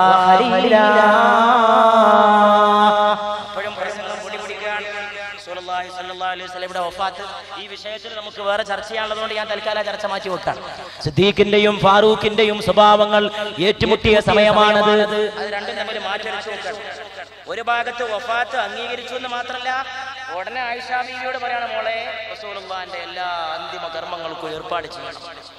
അത് പറഞ്ഞ് ഇറങ്ങിപ്പോകുമ്പോഴും പ്രസംഗം പൊടിപൊടിക്കാണ് ഞാൻ കൊല്ലും. എന്റെ റസൂൽ എന്റെ പ്രിയപ്പെട്ട മുസ്തഫ മുഹമ്മദ് മുസ്തഫ സല്ലല്ലാഹു അലൈഹി വസല്ലം വഫാത്തായി എന്ന് പറയുന്നവനെ ഞാൻ ഈ വാളുകൊണ്ട് തട്ടിക്കളയും. അത് കണ്ടുകൊണ്ട് സിദ്ദീഖ് തിരിച്ചു വരികയാണ്. ഇവിടെയാണ് സിദ്ദീഖിന്റെയും ഫാറൂഖിന്റെയും സ്വഭാവങ്ങൾ ഏറ്റുമുട്ടുന്നത്. ആ രണ്ട് സ്വഭാവങ്ങളെയും വളർത്തിയെടുത്ത റസൂലുള്ളാഹി സല്ലല്ലാഹു അലൈഹി വആലിഹി വസ്ഹാബിഹി വസല്ലം. അതായിരുന്നു സഹാബത്ത്. ഓരോരുത്തരും ഓരോ ക്യാരക്ടറാണ് ഓരോരുത്തരും ഓരോ സ്വഭാവം. ഈ സദസ്സിലിരിക്കുന്ന സഹോദരന്മാരോട് ഞാനൊരു അപേക്ഷ പറയാം. ജീവിതത്തിൽ പഠിക്കാൻ നിങ്ങൾ ആഗ്രഹിക്കുന്നത് എന്തൊക്കെയാണ്? ഓരോരുത്തരും തീരുമാനിക്കുക ഒരു സഹാബിയെ കുറിച്ച് ഞാൻ പഠിക്കും. ഒരു സഹാബിയെ കുറിച്ച് മരിച്ചു പോകുന്നതിന് മുമ്പ് ഏതെങ്കിലും ഒരു സഹാബിയെ കുറിച്ച് ഞാൻ സ്പെഷ്യലൈസ് ചെയ്തിരിക്കും. ഞാൻ പ്രത്യേകമായ പഠനത്തിൽ വൈദഗ്ധ്യം നേടും. എന്നിവിടെ കൂടിയ ഓരോ സഹോദരനും ഓരോ മുഗ്മിനും പ്രതിജ്ഞ ചെയ്താൽ ജീവിതത്തിൽ അത് വലിയൊരു സൗഭാഗ്യമായിരിക്കും. ഒരാൾ അബൂബക്കർ സിദ്ദീഖിനെ കുറിച്ച് പഠിക്കാൻ തീരുമാനിക്കട്ടെ റളിയല്ലാഹു തആല അൻഹു. ഒരാൾ ഉമർ ഇബ്നുൽ ഖത്താബിനെ കുറിച്ച് പഠിക്കട്ടെ റളിയല്ലാഹു അൻ ഒരാൾ ഉസ്മാൻ ഇബ്നു അഫ്ഫാൻ റളിയല്ലാഹു അൻ അലി ഇബ്നു അബീ താലിബ് റളിയല്ലാഹു അൻ മറ്റൊരാൾ അബൂ ഉബൈദയെ കുറിച്ച് പഠിക്കട്ടെ റളിയല്ലാഹു അൻ ഒരാൾ അബ്ദുറഹ്മാൻ ഇബ്നു ഔഫ് ഒരാൾ സഅദ് റളിയല്ലാഹു അൻ ഒരാൾ സഈദ് റളിയല്ലാഹു അൻ തൽഹത്ത് റളിയല്ലാഹു അൻ സുബൈർ റളിയല്ലാഹു അൻ ബിലാൽ റളിയല്ലാഹു അൻ സൽമാൻ റളിയല്ലാഹു അൻ മുസ്അബ് റളിയല്ലാഹു അൻ ഓരോരുത്തരും ഓരോ ക്യാരക്ടറാണ് ഓരോ സ്വഭാവം. ആ ഓരോ സ്വഭാവങ്ങളെ പഠിക്കാൻ കഴിഞ്ഞാൽ ഏറ്റവും വലിയ ഭാഗ്യമായിരിക്കും അപ്പൊ മനസ്സിലാകും സഹാബി എന്റെ സഹാബികളെ നക്ഷത്രങ്ങളെ പോലെയാണ്. അതിൽ നിന്ന് ആരെ പിൻപറ്റിയാലും നിങ്ങൾക്ക് മാർഗദർശനമുണ്ട്. ആരെ പിൻപറ്റിയാലും ശരിയായ റൂട്ടിലെത്തും. എല്ലാ കവാടങ്ങളും ചെല്ലുന്നത് കൊട്ടാരത്തിലേക്കാണ്. കൊട്ടാരം മുഹമ്മദ് മുസ്തഫ സല്ലല്ലാഹു അലൈഹി വസല്ലമയാണ്. സഹാബത്തിലെ ചരിത്രകാരന്മാർ പോലും അംഗീകരിച്ചില്ലേ? പകൽ പകൽ കുതിരപ്പുറത്ത് കയറിയവർ അശ്വാരൂഢന്മാർ രാത്രിയോ സന്യാസിമാർ. അതായിരുന്നു സഹാബികളുടെ സ്വഭാവം എന്ന് ചരിത്രകാരന്മാർ പറഞ്ഞു. രാത്രി സന്യാസി എന്ന് പറഞ്ഞാൽ ഇബാദത്ത്. സന്യാസി എന്ന് പറഞ്ഞാൽ സന്യാസി വലിയ പണി എന്താണ്? ആരാധന. ഒറ്റയ്ക്കിരിക്കുക ഒഴിഞ്ഞിരിക്കുക മുറിയിലിരിക്കുക പ്രാർത്ഥിക്കുക കേട്ടിച്ച് മടങ്ങുക. അപ്പൊ കണ്ടാത്തൊന്നും കുടുംബമില്ല ദുന്യാവില്ല പക്ഷെ അത് രാത്രി മാത്രമാണ്. പകലോ എല്ലാ ഏർപ്പാടിലുണ്ട്. ലോകത്തിന്റെ യുദ്ധമുണ്ട് പോരാട്ടമുണ്ട് വീടുണ്ട് കുടുംബമുണ്ട്. എല്ലാ വിഷയത്തിലും പങ്കുവഹിക്കുന്നുണ്ട് സമുദായത്തിന്റെ രാജ്യത്തിന്റെ പൊതുകാര്യങ്ങളിലൊക്കെ പങ്കുവഹിക്കുന്നുണ്ട്. പകൽ അശ്വാരൂഢന്മാർ രാത്രി സന്യാസിമാർ. അതായിരുന്നു മുഹമ്മദിന്റെ സഹാബികൾ എന്ന് മഹാന്മാരായ ചരിത്രകാരന്മാർ എഴുതി വെച്ചിരിക്കുന്നു. ഇംഗ്ലീഷുകാർക്ക് വരെ അത് എഴുതി വെക്കാതിരിക്കാൻ സാധിക്കില്ല എഡ്വേർഡ് ഗിബൺ എന്ന് പറയുന്ന ചരിത്രകാരൻ പറഞ്ഞു ആദ്യത്തെ നാല് ഖലീഫമാർ അബൂബക്കറും ഉമറും ഉസ്മാനും അലിയും വിശുദ്ധമായ മാതൃകകളാണ്. എഡ്വേർഡ് ഗിബൺ തന്റെ വിശ്വപ്രശസ്തമായ ചരിത്ര പുസ്തകത്തിൽ പറഞ്ഞു അബൂബക്കർ അലിയല്ലാഹുവിനെ കുറിച്ച് പ്രഗൽ പ്രശസ്ത ചരിത്രകാരനായ ഫിലിപ്പ് കെ ഹിറ്റി എഴുതിയത് ഓർക്കുക മുർത്തദ്ദുകളെ നേരിടുകയും അറേബ്യയിൽ ഇസ്ലാ അറേബ്യയെ ഇസ്ലാമിന്റെ കൊടുക്ക് കീഴെ കൊണ്ടുവരികയും ചെയ്ത അബൂബക്കർ ലളിതമായ ജീവിതമാണ് നയിച്ചിരുന്നത് എന്ന് ഫിലിപ്പ് കെ. ഹിറ്റി അറബികളുടെ ചരിത്രത്തിൽ ലോക ചരിത്ര രചനയിൽ മുന്തി നിൽക്കുന്ന കോളേജിൽ ചരിത്രം പഠിക്കുന്ന വിദ്യാർത്ഥികൾ പശ്ചിമേഷ്യയുടെ ചരിത്രം പഠിക്കാൻ ആധികാരിക ടെക്സ്റ്റ് ബുക്കായി റെഫർ ചെയ്യുന്ന പുസ്തകം പ്രൊഫസർ ഹിറ്റിയുടെ പുസ്തകം. പ്രൊഫസർ ഹിറ്റി പറയുന്നു നബി തിരുമേനിയുടെ ഈ അനുയായി ഏറ്റവും ലളിതമായ ജീവിതമാണ് നയിച്ചിരുന്നത്. ആദ്യത്തെ ആറ് കൊല്ലം തലസ്ഥാനമായ മദീനയിലേക്ക് തന്റെ ഗ്രാമത്തിലെ ഒരു കൊച്ചു കുടിലിൽ നിന്ന് അബൂബക്കർ കാൽനടയായിട്ട് നടന്നു വരാറായിരുന്നുവെന്ന് ഫിലിപ്പ് കെഹിറ്റി തുടർന്ന് പറയും ആദ്യത്തെ ക്ഷമിക്കണം ആദ്യത്തെ ആറ് കൊല്ലമല്ല ആദ്യത്തെ ആറ് മാസം. ഖലീഫയായ ആദ്യത്തെ ആറ് മാസം ഭരണം നിർവഹിക്കാൻ തലസ്ഥാന നഗരമായ മദീനയിലേക്ക് നടന്നു വരികയായിരുന്നു ചെയ്തുകൊണ്ടിരുന്നത്. സർ വില്യം മോർ പ്രശസ്തനായ ചരിത്രകാരനാണ്. അദ്ദേഹത്തിന്റെ ദി ആനൽസ് ഓഫ് ഹിസ്റ്ററി എന്ന പുസ്തകം വളരെ പ്രസിദ്ധമാണ്. ആ പുസ്തകത്തിൽ അദ്ദേഹം പറയുന്നു മുഹമ്മദിന്റെ സല്ലല്ലാഹു അലൈഹി വസല്ലം ലളിതമായ ജീവിതത്തിന്റെ ലാളിത്യമായിരുന്നു അബൂബക്കറിന്റെയും ജീവിതം. അബൂബക്കറിന് സേവകരില്ലായിരുന്നു കാവൽക്കാരില്ലായിരുന്നു ഭരണാധികാരത്തിന്റെ യാതൊരു ഗാംഭീര്യവുമില്ലായിരുന്നു. ആരാ പറയണത്? Sir William Muir. ഞാൻ മുസ്ലിങ്ങളല്ലാത്ത ചരിത്രകാരന്മാരെ ഇവിടെ ഉദ്ധരിക്കുന്നത് മുസ്ലിങ്ങളല്ലാത്ത ലോക ചരിത്രകാരന്മാരും ഇവരുടെ എല്ലാവരുടെയും മഹത്വം അംഗീകരിച്ചിട്ടുണ്ട് എന്ന കാര്യം അടിവരയിട്ട് പറയാൻ വേണ്ടി മാത്രമാണ്. ഇവർ ചരിത്രത്തിന്റെ തണലിൽ ജീവിച്ചവരും ചരിത്രകാരന്മാരുടെ പഠനങ്ങൾക്ക് വിധേയരായവരുമാണ്. ജസ്റ്റിസ് അമീർ അലി മുസ്ലിം തന്നെയായ ഒരു ചരിത്രകാരൻ. A short history of the Saracens എന്ന പുസ്തകത്തിൽ പറയുന്നു ഖുലഫാ കാലത്ത് മുസ്ലിമീങ്ങളുടെ രാഷ്ട്രീയ സ്ഥിതി ഒരു ജനകീയ ഭരണകൂടത്തിന്റെ സ്ഥിതിയായിരുന്നു. അതിന്റെ തലപ്പത്ത് തെരഞ്ഞെടുക്കപ്പെട്ട ഒരു ഖലീഫയുണ്ടായിരുന്നു. അധികാരം പരിമിതമായിരുന്നു. നിയമം ധനികനും ദരിദ്രനും ഭരിക്കുന്നവനും തൊഴിലാളിക്കും സമമായിരുന്നു എന്ന് അമീർ അലി പറയുന്നു. ഇതാണ് സഹാബാക്കളുടെ സ്ഥിതി. ഈ സഹാബാക്കളുടെ കുടുംബത്തിലാണ് അബൂബക്കർ അലി അള്ളാഹുൽ ജനിച്ചത്. അബൂബക്കർ സിദ്ദീഖ് അലി പ്രധാനപ്പെട്ട ഒരു ഭാഗ്യം അബൂബക്കർ സഹാബിയാണ്. അബൂബക്കറിന്റെ ബാപ്പ സഹാബിയാണ്. അബൂബക്കറിന്റെ മകൻ സഹാബിയാണ്. മകന്റെ മകനും സഹാബിയാണ്. അതാണ് അബൂബക്കർ സിദ്ദീഖ് റളിയല്ലാഹുവിന്റെ പ്രധാനപ്പെട്ട ഒരു പ്രത്യേകത. അബൂബക്കർ സിദ്ദീഖ് റളിയല്ലാഹുവിന്റെ പിതാവായ അബൂ കുഹാഫ സഹാബിയായിരുന്നു. അബൂബക്കർ സിദ്ദീഖ് റളിയല്ലാഹുവിന്റെ മകനായ അബ്ദുള്ള സഹാബിയായിരുന്നു. അബ്- അബൂബക്കർ സിദ്ദീഖ് റളിയല്ലാഹുവിന്റെ മകന്റെ മകനായ മുഹമ്മദ് മുഹമ്മദ് ബിൻ അബ്ദുറഹ്മാൻ മൂത്ത മകനായ അബ്ദുറഹ്മാന്റെ മകൻ സഹാബിയായിരുന്നു. അബൂബക്കർ സിദ്ദീഖ് അലി അള്ളഹാനു സഹാബി ബാപ്പ സഹാബി സ്വയം തന്നെ സഹാബി ബാപ്പ സഹാബി മകൻ സഹാബി മകന്റെ മകൻ സഹാബി. നാല് സഹാബ് തലമുറയിലാണ് അബൂബക്കർ സിദ്ദീഖ് സിദ്ദീഖുൽ അക്ബർ റളിയല്ലാഹു തആല അൻഹു സഹാബാക്കളുടെ മഹത്വം അതാണ്. ഈ സഹാബികളെ കുറിച്ച് ഓർക്കുമ്പോൾ നമ്മൾ പ്രാർത്ഥിച്ചു പോകും കഭി ഏകാശ് കഭി ഏകാശ് വ ഹസറാത്ത് ബി ഖാബോം മേ ആ സ്വപ്നത്തിലെങ്ങാനും ഈ സഹാബത്ത് വന്നണഞ്ഞിരുന്നെങ്കിൽ കിനാവ് കണ്ടിരുന്നെങ്കിൽ ഇവരെ കവി മോഹിച്ച പോലെ നമ്മളും മോഹിച്ചു വന്നിരിക്കും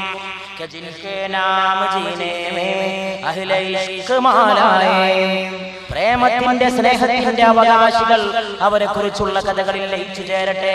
മരാ യഹാൻ ജാനതാർ ഹേ രഹേ സാബിത് ഖദം ഈമാൻ पर जो സഹ് കെ ഈസായെ ബുദ്ധിമുട്ടുകൾ സഹിച്ചുകൊണ്ട് നബിയുടെ കൂടെ ഉറച്ചു നിന്ന സഹാബികളെയാണ് ഞാൻ ഉദ്ദേശിക്കുന്നത് അവരെന്റെ സ്വപ്നത്തിൽ വന്നണിഞ്ഞിരുന്നെങ്കിൽ സർഫഹറസ്ത് അബൂബക്കർ വ ഉമർ വ ഉസ്മാൻ വ ഹൈദർ ഹേ कि जिनकी अजमत तकवा की अहल दिल कसम खाए അതിന്റെ തലപ്പത്ത് അബൂബക്കറാണ് ഉമറാണ് ഉസ്മാനാണ് അലിയാണ്. സഹാബികളുടെ തലപ്പത്ത് ഈ സഹാബികൾ എന്റെ മുമ്പിലേക്ക് വന്നടഞ്ഞിരുന്നെങ്കിൽ സുബൈറോ സഅദോ തൽഹ ഇബ്നു ഔഫോ ഉബൈദ ബി സുബൈറോ സഅദോ തൽഹ ഔഫോ.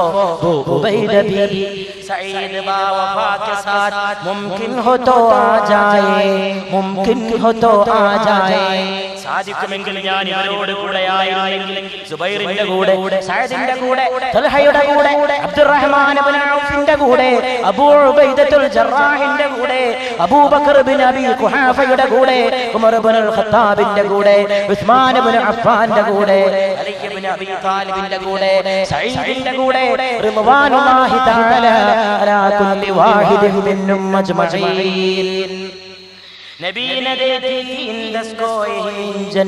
خوشخبری ہم ان اصحاب کے കൈസേ ഗുണവായേ നബി സ്വർഗം വാഗ്ദാനം നൽകിയ ഈ പത്ത് പേരുടെ ഗുണങ്ങൾ നമ്മൾ എങ്ങനെ എണ്ണി പറയാൻ? ഒറ്റ ഇരുപ്പിലിരുന്നിട്ട് നിങ്ങൾ സ്വർഗത്ത് കടക്കുന്ന അള്ളാഹു റസൂൽ എണ്ണി പറഞ്ഞവരാണ്.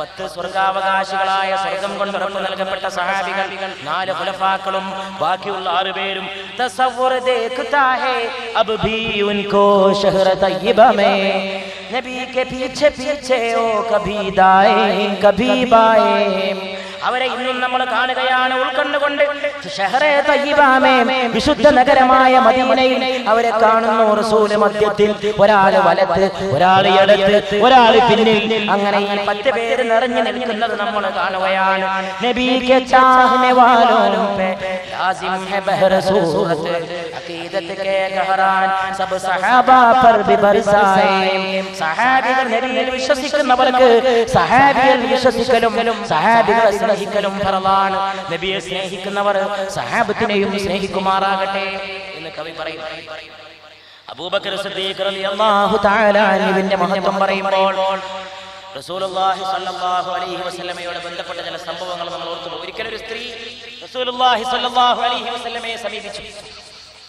ഒരു പ്രത്യേക കാര്യം പറയുന്നതിന് വേണ്ടി. ഒരു പ്രത്യേക കാര്യം നിവർത്തിച്ച് കിട്ടുന്നതിന് വേണ്ടി.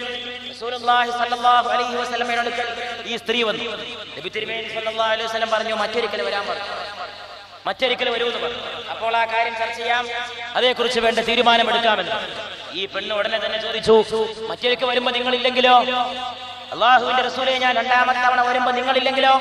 ഉടൻ തന്നെ വന്നു ആ പുണ്യമാക്കപ്പെട്ട നാളിൽ നിന്ന് മറുപടി. എങ്കിൽ അബൂബക്കറിനെ സമീപിക്കുക. തിരുമേനിക്ക് ശേഷം ഒന്നാമത്തെ ഖലീഫ അബൂബക്കർ ആകണമെന്നതിന് ഇസ്ലാമിക ചരിത്രത്തിൽ നിന്ന് ഒരുപാട് തെളിവുകൾ എടുത്തു ഉദ്ധരിക്കാൻ സാധിക്കും ഈ വിഷയത്തിലാണ് ചില ആളുകൾ പഴച്ചു പോയത്. അബൂബക്കർ റതി അള്ളാഹുവിനുമല്ല അലി റതി അള്ളാഹുവിനുമാണ് ഖലീഫയാകേണ്ടത് എന്ന അഭിപ്രായക്കാര് മുസ്ലിം സമുദായത്തിൽ ചില ആളുകൾ ഉണ്ടാവുകയും അവർ പിന്നീട് ഷീഅത്തു അലി അലിയുടെ പാർട്ടി എന്നറിയപ്പെടുകയും അവർ പിന്നെ ഷിയാക്കൾ എന്ന പേരിൽ അറിയപ്പെടാൻ ഇടയാവുകയും ചെയ്തു. സത്യത്തിൽ നബി തിരുമേനി സല്ലല്ലാഹു അലൈഹി വസല്ലമയുടെ ജീവചരിത്രം സൂക്ഷ്മമായിട്ട് പരിശോധിക്കുകയും അവിടുത്തെ വചനങ്ങൾ ഹദീസുകൾ പഠി പഠനം നടത്തുകയും ചെയ്താൽ നബി നിരവധി ഇഷാറകളിലൂടെ നിരവധി സൂചനകളിലൂടെ നിരവധി വ്യക്തമായ പ്രഖ്യാപനങ്ങളിലൂടെ എനിക്ക് ശേഷം അബൂബക്കർ എനിക്ക് ശേഷം അബൂബക്കർ എനിക്ക് ശേഷം അബൂബക്കർ ഒന്നാം ഖലീഫ അബൂബക്കർ എന്ന് സൂചന നൽകിയതായിട്ട് നേർവഴിക്ക് ചിന്തിക്കുന്ന സത്യവിശ്വാസികൾക്ക് ബോധ്യപ്പെടാൻ സാധിക്കും. അതിന്റെ ഒരു തെളിവാണ് നബി അടുത്ത തവണ ഞാൻ വരുമ്പോ നിങ്ങളില്ലെങ്കിലോ? എന്നൊരു പെൺകുട്ടി ചോദിച്ചപ്പോൾ എങ്കിൽ അബൂബക്കർ? എന്ന് പറഞ്ഞാൽ ഞാനില്ലെങ്കിൽ എന്റെ പ്രതിനിധി നിങ്ങൾക്ക് സമീപിക്കാവുന്ന ആൾ അബൂബക്കർ അലി അള്ളാഹുനുമാണ് എന്ന് റസൂലുള്ളാഹി സ്വല്ലല്ലാഹു അലൈഹി വസല്ലം ഉറപ്പിച്ചു പറഞ്ഞു. റസൂലുള്ളാഹി സ്വല്ലല്ലാഹു അലൈഹി വസല്ലം പറഞ്ഞു സൗർ ഗുഹയിൽ അബൂബക്കറെ നിങ്ങൾ എന്റെ കൂട്ടുകാരനായിരുന്നു. ഹിജ്റയുടെ വേളയിൽ സൗർ ഗുഹയിൽ റസൂലുള്ളാഹി സ്വല്ലല്ലാഹു അലൈഹി വസല്ലം അബൂബക്കറിന്റെ മടിയിലാണ് കിടന്നത്. സൗർ ഗുഹയിൽ നിങ്ങൾ എന്റെ കൂട്ടുകാരനായിരുന്നെങ്കിൽ നാളെ ഹൗദുൽ കൗസറിലും നിങ്ങൾ എന്റെ കൂട്ടുകാരനാണ്. ഞാൻ എന്റെ ഉമ്മത്തി നിങ്ങൾക്ക് ഹൗദുൽ കൗസറിൽ നിന്ന് വെള്ളം കോരി കൊടുക്കുമ്പോൾ അബൂബക്കറെ നിങ്ങൾ എന്റെ കൂടെ ഉണ്ടാകും. നിങ്ങൾ സൗർ ഗുഹയിൽ ഞാൻ നിങ്ങളുടെ മടിയിൽ കിടന്നുവെങ്കിൽ നാളെ നിങ്ങൾ എന്റെ കൂട്ടുകാരനാണ് അബൂബക്കറെ എന്ന്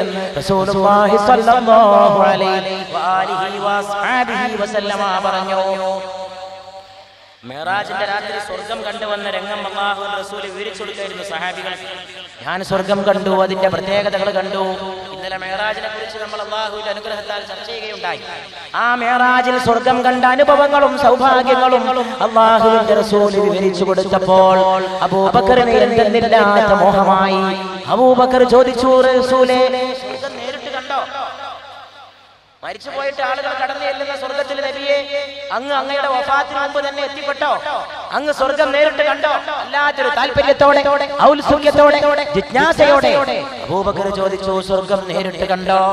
ഉടൻ തന്നെ ആ താല്പര്യം കണ്ടിട്ട് റസൂലുള്ളാഹി സ്വല്ലല്ലാഹു അലൈഹി വസല്ലം പറയുകയാണ് കണ്ടു അധികം ചോദിച്ചു വിഷമിക്കണ്ട എന്റെ സമുദായത്തിൽ നിന്ന് എന്റെ ഉമ്മത്തിയങ്ങളിൽ നിന്ന് ആദ്യം സ്വർഗത്തിൽ കടക്കുക അബൂബക്കറേ നിങ്ങളായിരിക്കും നിങ്ങളാണ് ആദ്യം സ്വർഗത്തിലേക്ക് കാലെടുത്ത് വെക്കുക.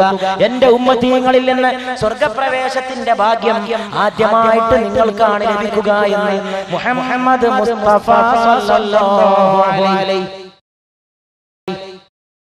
കഴിഞ്ഞിട്ടില്ല. ആ സന്ദർഭം സംഗതി വഷളാൻ പോവാണ്. അൻസാറുകൾ ഒരു നേതാവിനെ തിരഞ്ഞെടുക്കാൻ പോവാണ്. മുഹാചര്യങ്ങൾ വേറൊരു നേതാവിനെ തിരഞ്ഞെടുക്കാൻ പോവാണ്. പുണ്യമാക്കപ്പെട്ട ശരീരം ആയിഷാബി ഇവിടെ വീട്ടിൽ കിടക്കുകയാണ്. രണ്ട് നേതാവ് എന്ന് കേട്ടപ്പോൾ അള്ളാഹുവിന് ചോദിച്ച ചോദ്യം അർത്ഥവത്തായ ചോദ്യമാണ്. ഒരു ഉറയിൽ രണ്ട് വാളോ? എന്ന് ചോദിച്ചുകൊണ്ട് ഉമർദി അള്ളാഹുവിന് ആ യോഗ സ്ഥലത്തേക്ക് പുറപ്പെട്ടു. ഒരു ഉറയിൽ രണ്ട് വാളോ എന്താ ഈ കേൾക്കുന്നത്? മുഹാജിറുകൾക്ക് ഒരു ഖലീഫ അൻസാറുകൾക്ക് വേറൊരു ഖലീഫയോ? നെഞ്ചും വിടർത്തി ധീരനായ ഉമർ അങ്ങോട്ട് കടന്നു. ഇന്നത്തെ സ്ഥിതിഗതികൾ നന്നാക്കാൻ നോക്കണം. ഒരു നേതാവ് ഉമർ സദസ്സിലേക്ക് കടന്നു എന്നിട്ട് പ്രസംഗം ചെയ്തു. ജനങ്ങളെ രണ്ട് ഖലീഫയെ തിരഞ്ഞെടുക്കാൻ പോവാണോ? അബദ്ധം. അവിടെ വെച്ച് അവസാനിപ്പിക്കുക. ഒറ്റ നേതാവ്. നമുക്കൊരു ഖലീഫ വേണം. ഒറ്റ ഖലീഫ. അതിനാരാവിടെ പ്രസംഗിച്ചു. ഖലീഫ വേണം. ഉമർ പറഞ്ഞത് ശരിയാണ്. ഞാൻ രണ്ടാളെ ഇതാ നിങ്ങൾക്ക് മുമ്പാകെ സമർപ്പിക്കുന്നു ആ രണ്ടിൽ നിന്ന് നിങ്ങൾക്ക് ഇഷ്ടമുള്ള ഒരാളെ തെരഞ്ഞെടുക്കുക. അബൂബക്കർ സിദ്ദീഖ് പറഞ്ഞു. ഒന്ന് അബൂ ഉബൈദ. അതിനു മുമ്പ് രണ്ട് ശൂരന്മാർ രണ്ട് നീതിമാന്മാർ ഒന്നുകിൽ ഉമർ അല്ലെങ്കിൽ അബൂ ഉബൈദ. രണ്ടാളും സ്വർഗം കൊണ്ട് ഉറപ്പ് നൽകപ്പെട്ട അഷറത്തുൽ മുബശ്ശരീങ്ങളിൽപ്പെട്ടവരാണ്. അത് പറഞ്ഞു തീരാൻ സമ്മതിച്ചില്ല ഉമർ ഇബ്നുൽ ഖത്താബ് റളിയല്ലാഹു അൻഹു. അപ്പോഴേക്ക് എണീറ്റു. അത് പറഞ്ഞു അവിടെ നിൽക്കട്ടെ. എന്റെ കാര്യം ഞാൻ പറയാ. ഞാനേന അയോഗ്യനാണ് അബൂബക്കർ സിദ്ദീഖ് ജീവിച്ചിരിക്കുന്ന ഒരു സമൂഹത്തിൽ മുസ്ലിം സമൂഹത്തിന്റെ നായകനാകാൻ എനിക്ക് അവകാശമില്ല. എവിടുന്നാണ് മുസ്ലിം സമൂഹത്തിന്റെ ഐക്യവും ഭദ്രതയും പിറവിയെടുക്കേണ്ടത്? ഈ വചനം ആ വചനം നായകനാ സിദ്ദീഖ് ജീവിച്ചിരിക്കുന്നിടത്ത്. നായകൻ ഇവിടെ ഉണ്ട്. നായകനെ തെരഞ്ഞു പോകേണ്ട ആവശ്യമില്ല. നായകൻ സമൂഹത്തിലുണ്ട്. ആ സമൂഹത്തിൽ നായകൻ ജീവിച്ചിരിക്കുന്ന കാലത്ത് ഞാൻ നേതാവ് ഞാൻ അതിന് യോഗ്യനല്ല. ഞാൻ അത് അപ്പ പിൻവലിക്കും. പിന്നാരാ പിൻവലിക്കാൻ ബാക്കി അബൂബൈദയോ ഉടനെ എഴുന്നേറ്റ്. സിദ്ദീഖുൽ അക്ബർ ജീവിച്ചിരിക്കുന്ന സമൂഹത്തിൽ ഞാൻ നേതാവാകാനോ ഖലീഫയാകാനോ ഞാൻ അതാ പിൻവലിക്കുന്നു എന്നതിന് പറ്റൂല. അപ്പോഴേക്ക് റസൂലിന്റെ സഹാബികളെ നിങ്ങൾക്ക് പൊരുത്തമാണോ? ഞാനിതാ അബൂബക്കർ സിദ്ദീഖിനെ ഖലീഫയായിട്ട് ചെയ്യുകയാണ്. നീട്ടണം സിദ്ദീഖെ കയ്യ് നിങ്ങൾ നേതൃത്വം ഏറ്റെടുക്കണം. ഈ സദസ്സിന്റെ ഈ സംഘത്തിന്റെ ഈ സമൂഹത്തിന്റെ ഈ രാജ്യത്തിന്റെ മുഹമ്മദ് നബി വളർത്തിയെടുത്ത സമൂഹത്തിന്റെ ഉജ്ജ്വലമായ സംസ്കാരത്തിന്റെ ഒടുക്കത്തെ പ്രവാചകന്റെ സമുദായത്തിന്റെ നേതൃത്വം പ്രവാചകൻ കണ്ണടച്ചതിന്റെ പിറകെ നിങ്ങൾ ഏറ്റെടുക്കണം സിദ്ദീഖ് എന്ന് പറഞ്ഞുകൊണ്ട് കൈനീട്ടിക്കൊണ്ട് അബൂബക്കർ സിദ്ദീഖിനെ കൈപിടിച്ച് ബൈബത്തി ചെയ്തപ്പോഴേക്ക് പിന്നെ സിദ്ദീഖിനൊന്നും പറയേണ്ട സമയമുണ്ടായില്ല. സദസ് ഓടിയണഞ്ഞു നിന്ന് പലതും കേട്ട സഹാബികൾ എന്റെ സിദ്ദീഖ് എന്റെ അബൂബക്കർ എന്റെ അബൂബക്കർ എന്റെ അബൂബക്കർ സൗർ ഗുഹയിൽ അബൂബക്കറിന്റെ മടിയിൽ കിടന്നിട്ട് അള്ളാഹുവിന്റെ റസൂൽ ഹിജറയുടെ മൂന്ന് രാവ് ചെലവഴിച്ച സംഭവം ഓർത്ത സഹാബികൾ മറ്റു പലതും ഓർത്ത സഹാബികൾ ആണുങ്ങൾക്കിടയിൽ നിന്ന് ആദ്യം ദീനെ വിശ്വസിച്ചത് അബൂബക്കറാണെന്ന് മനസ്സിലാക്കിയ സഹാബികൾ റസൂലുള്ളാഹിന്റെ നിരവധി വചനങ്ങൾ ഓർത്ത സഹാബികൾ. കൈപിടിച്ചുകൊണ്ട് പറഞ്ഞു അങ്ങ് ഞങ്ങളുടെ ഖലീഫയാണ് അങ്ങയെ ഖലീഫയായി അമീറുൽ മുഅ്മിനീനെ ഞങ്ങൾ ബൈഅത്ത് ചെയ്തിരിക്കുന്നു. ഉടനെ അബൂബക്കർ സിദ്ദീഖ് അൻഹു ചെയ്തൊരു പ്രസംഗം ഈ ലോകത്ത് സകല നേതാക്കന്മാർക്കും സകല അനുയായികൾക്കും എല്ലാ കാലത്തേക്കും ക്യാമത്താളെ വരെ മാതൃകയായിരിക്കും ആ പ്രസംഗം. അബൂബക്കർ സിദ്ദീഖ് റളിയല്ലാഹു പ്രസംഗം ആരംഭിച്ചു. ഞാനിതിന് യോഗ്യനല്ല. നിങ്ങൾക്കിടയിലെ ദുർബലനായ എളിയവനാണ് ഞാൻ. നിങ്ങൾ ഏൽപ്പിച്ചത് കൊണ്ട് ഈ ഉത്തരവാദിത്തം ഞാൻ ഏറ്റെടുക്കുന്നു. അള്ളാഹുവിനെയും റസൂലിനെയും ഞാൻ അനുസരിക്കുന്നിടത്തോളം കാലം നിങ്ങളും എന്നെ അനുസരിക്കണം. അള്ളാഹുവിനെയും റസൂലിനെയും ഞാൻ തെറ്റി നടക്കുകയാണെങ്കിൽ നിങ്ങൾ എന്നെ നിങ്ങൾ എന്നെ അനുസരിക്കരുത് എന്ന് മാത്രമല്ല നിങ്ങൾ എന്നെ തിരുത്തണമെന്ന് പറയുന്ന പറയാനൊരുങ്ങിയിട്ട് തിരുത്തണം എന്ന് പറയാൻ തുടങ്ങിയിട്ട് ആ വാചകം മുഴുമിപ്പിക്കാൻ സമ്മതിക്കാതെ സദസ്സിൽ നിന്ന് വയസ്സായ ഒരു സഹാബി എഴുന്നേറ്റുകൊണ്ട് വാൾ ഉറയിൽ നിന്ന് ഊരിയിട്ട് കാണിച്ചു കൊടുത്തിട്ട് പറഞ്ഞു അബൂബക്കറെ ഇതാ വാൾ. അള്ളാനെയും റസൂലിനെയും തെറ്റി നടന്നാൽ ഇതുകൊണ്ടായിരിക്കും അബൂബക്കറെ തിരുത്തുക.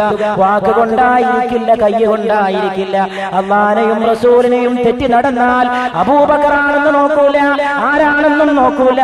ഈ വാളുകൊണ്ട് തിരുത്ത് ഞങ്ങൾ നടത്തിക്കൊള്ളാമെന്ന് ആ സഹാബി വിളിച്ചു പറഞ്ഞപ്പോൾ അബൂബക്കർ റളിയല്ലാഹു അൻഹു പറഞ്ഞു അല്ലാഹുവേ നിനക്ക് സ്തുതി അല്ലാഹുവേ നിനക്ക് സ്തുതി. അങ്ങനെ അന്ത്യപ്രവാചകന്റെ സമുദായത്തിലെ ഒന്നാമത്തെ ഖലീഫയായി അബൂബക്കർ സിദ്ദീഖ് തെരഞ്ഞെടുക്കപ്പെട്ടു. ഇസ്ലാമിൽ തെരഞ്ഞെടുപ്പിന്റെ രീതിയാവുള്ളത് ഇസ്ലാമിൽ രാജാധിപത്യമില്ല ആരെങ്കിലും രാജാവാകലില്ല മകനെ വാഴിക്കലില്ല ഒരുപാട് സംഭവങ്ങൾ ഈ കാര്യത്തിൽ നിന്ന് പഠിക്കാൻ സാധിക്കുന്നു. മക്കളെ വാഴിക്കുന്ന ഏർപ്പാട് ഇസ്ലാമിലില്ല.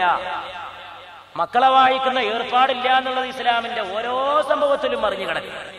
ഇനി നാല് ഖലീഫമാരെ ചരിത്രം എടുത്ത് പഠിച്ചു. അബൂബക്കർ സിദ്ദീഖ് റളിയല്ലാഹു അൻഹു വഫാത്താകാൻ പോകുമ്പോൾ സഹാബികൾ പോയിട്ട് ചോദിച്ചു ആരാ നിങ്ങളെ പിൻഗാമി? മുഹമ്മദ് മുസ്തഫ സല്ലല്ലാഹു അലൈഹി വസ്ലമയുടെ കാലശേഷം മക്കളെ വായിച്ചില്ല ആൺമക്കളില്ല ഒരു ആൺതരി ഉണ്ടായിരുന്നല്ലോ ഇബ്രാഹിം അൻഹു. ആ കുഞ്ഞുമോൻ ചെറുപ്പത്തിൽ തന്നെ ഒഫാത്തായി പോയി. ഫാത്തിമ ബീവിന്റെ ഫാത്തിമ ബീവിയുടെ ഭർത്താവായ ജാമാതാവായ അലി റളിയല്ലാഹു അൻഹു ഉണ്ട് പ്രഗത്ഭൻ.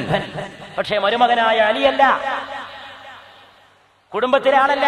അബൂബക്കറാണ് ഒന്നാമത്തെ ഖലീഫ. റളിയല്ലാഹു അബൂബക്കർ സിദ്ദീഖ് റളിയല്ലാഹു അൻഹു ഖലീഫായപ്പോൾ ആളുകൾ കൂടിയിട്ട് പറഞ്ഞു ആരാ ഖലീഫ? അടുത്ത സിദ്ദീഖിനോട് പോയിട്ട് ചോദിച്ചു സഹായം നമുക്കൊരാളെ കണ്ടെത്തണം. സിദ്ദീഖിനോട് സിദ്ദീഖ് പറഞ്ഞു ജനങ്ങളോട് നമുക്കൊരാളെ കണ്ടെത്തണം. അപ്പോ ഒരാൾ പോയിട്ട് പറഞ്ഞു അല്ല നമ്മളെ മകനായാൽ എന്താ? അബ്ദുള്ള നല്ല ഒന്നാന്തരം കുട്ടിയാണ് നല്ല മുത്തക്കിയാണ് ആളുകൾക്ക് നല്ല അഭിപ്രായമാണ്. യാതൊരു സംശയമില്ല അബ്ദുള്ള അബൂബക്കർ സിദ്ദീഖിന്റെ മകനാ നിലക്കല്ല. സഹാബികൾക്കിടയിൽ അഗ്രഗണ്യനാണ്. ഉടൻ തന്നെ സിദ്ദീഖുല്ലൊക്കെ പറഞ്ഞു ആ വർത്താനം പറയണ്ടെന്ന്. ആ വർത്തമാനം അവിടെ അവസാനിപ്പിക്കുക. എന്നിട്ട് ഓരോരുത്തരെ വിളിച്ച് അഭിപ്രായം ചോദിച്ചു. ആരായിരിക്കണം ഖലീഫ? അബ്ദുറഹ്മാൻ ഔഫിനെ വിളിച്ചു ചോദിച്ചു റളിയല്ലാഹു അൻഹുവിനോട്. ആരാ ഖലീഫ നിങ്ങളെ അഭിപ്രായം? അബ്ദുറഹ്മാൻ ഔഫ് പറഞ്ഞു നല്ലൊരാളുണ്ട്. കുറച്ച് കട്ടിയാണെന്ന് മാത്രം. കുറച്ച് കടുകട്ടിയാണ് സ്വഭാവം. എന്നാലും ഇപ്പണിക്ക് പണിക്ക് പ്രഗത്ഭനാണെന്ന്. ആരാ? ഉമർബുനുൽ ഖത്താബ് റളിയല്ലാഹു അബൂബൈദയെ വിളിച്ചു ചോദിച്ചു നിങ്ങളെ അഭിപ്രായം ആരാ? ഖലീഫയാകാൻ ആരാ ഫിറ്റ് അബൂബക്കർ സിദ്ദീഖ് റളിയല്ലാഹു അൻഹു അമീറുൽ മുഅ്മിനീൻ ഉമറിന്റെ സമൂഹത്തിൽ ഉമറിനേക്കാൾ യോഗ്യനായ ഒരാളെ ഞാൻ കാണുന്നില്ല എന്ന് പറഞ്ഞു. അഭിപ്രായമൊക്കെ അവിടെ എഴുതി വെച്ചു. കട്ടിയാണെന്നുള്ള അഭിപ്രായം കേട്ടല്ലോ. സിദ്ദീഖുൽ അക്ബർ സഹാബികളെ വിളിച്ചുകൂട്ടി സിദ്ദീഖ് ലോകത്തോട് വട പറയാൻ പോവുകയാണ്. സഹാബികളെ വിളിച്ചു കൂട്ടിയിട്ട് അമീറിൽ മുഅ്മിനീൻ ഒരു പ്രസംഗം ചെയ്തു. ഉമറിനെ കുറിച്ച് ഒരു ആക്ഷേപം ഇവിടെ കേൾക്കുന്നുണ്ട്. അല്പം കട്ടിയാണ്. ആ കട്ടി ദീനിനു വേണ്ടിയുള്ള കട്ടിയുടെ സ്വഭാവമാണ്. ദീനിനു വേണ്ടിയാണ് ഉമർ ഗൗരവക്കാരനായത്. നിങ്ങൾ ഖിലാഫത്തിന്റെ അധികാരം ഉമറിനെ ഏൽപ്പിച്ചാൽ മയം വന്നുകൊള്ളും. കട്ടിയായ ഉമർ മയം വരുന്നത് നിങ്ങൾക്ക് കാണാൻ സാധിക്കും. അതുകൊണ്ട് ഉമറിനെ ഖലീഫയാക്കാൻ ഞാൻ ആഗ്രഹിക്കുന്നു. നിങ്ങൾക്ക് സമ്മതമാണോ? സഹാബത്ത് ഒന്നടങ്കം വിളിച്ചു പറഞ്ഞു നമ്മുടെ കാലത്ത് ഉമറല്ലാതെ യോഗ്യനാരാണ്. ഉമറിനെ തന്നെ നിയമിക്കുക.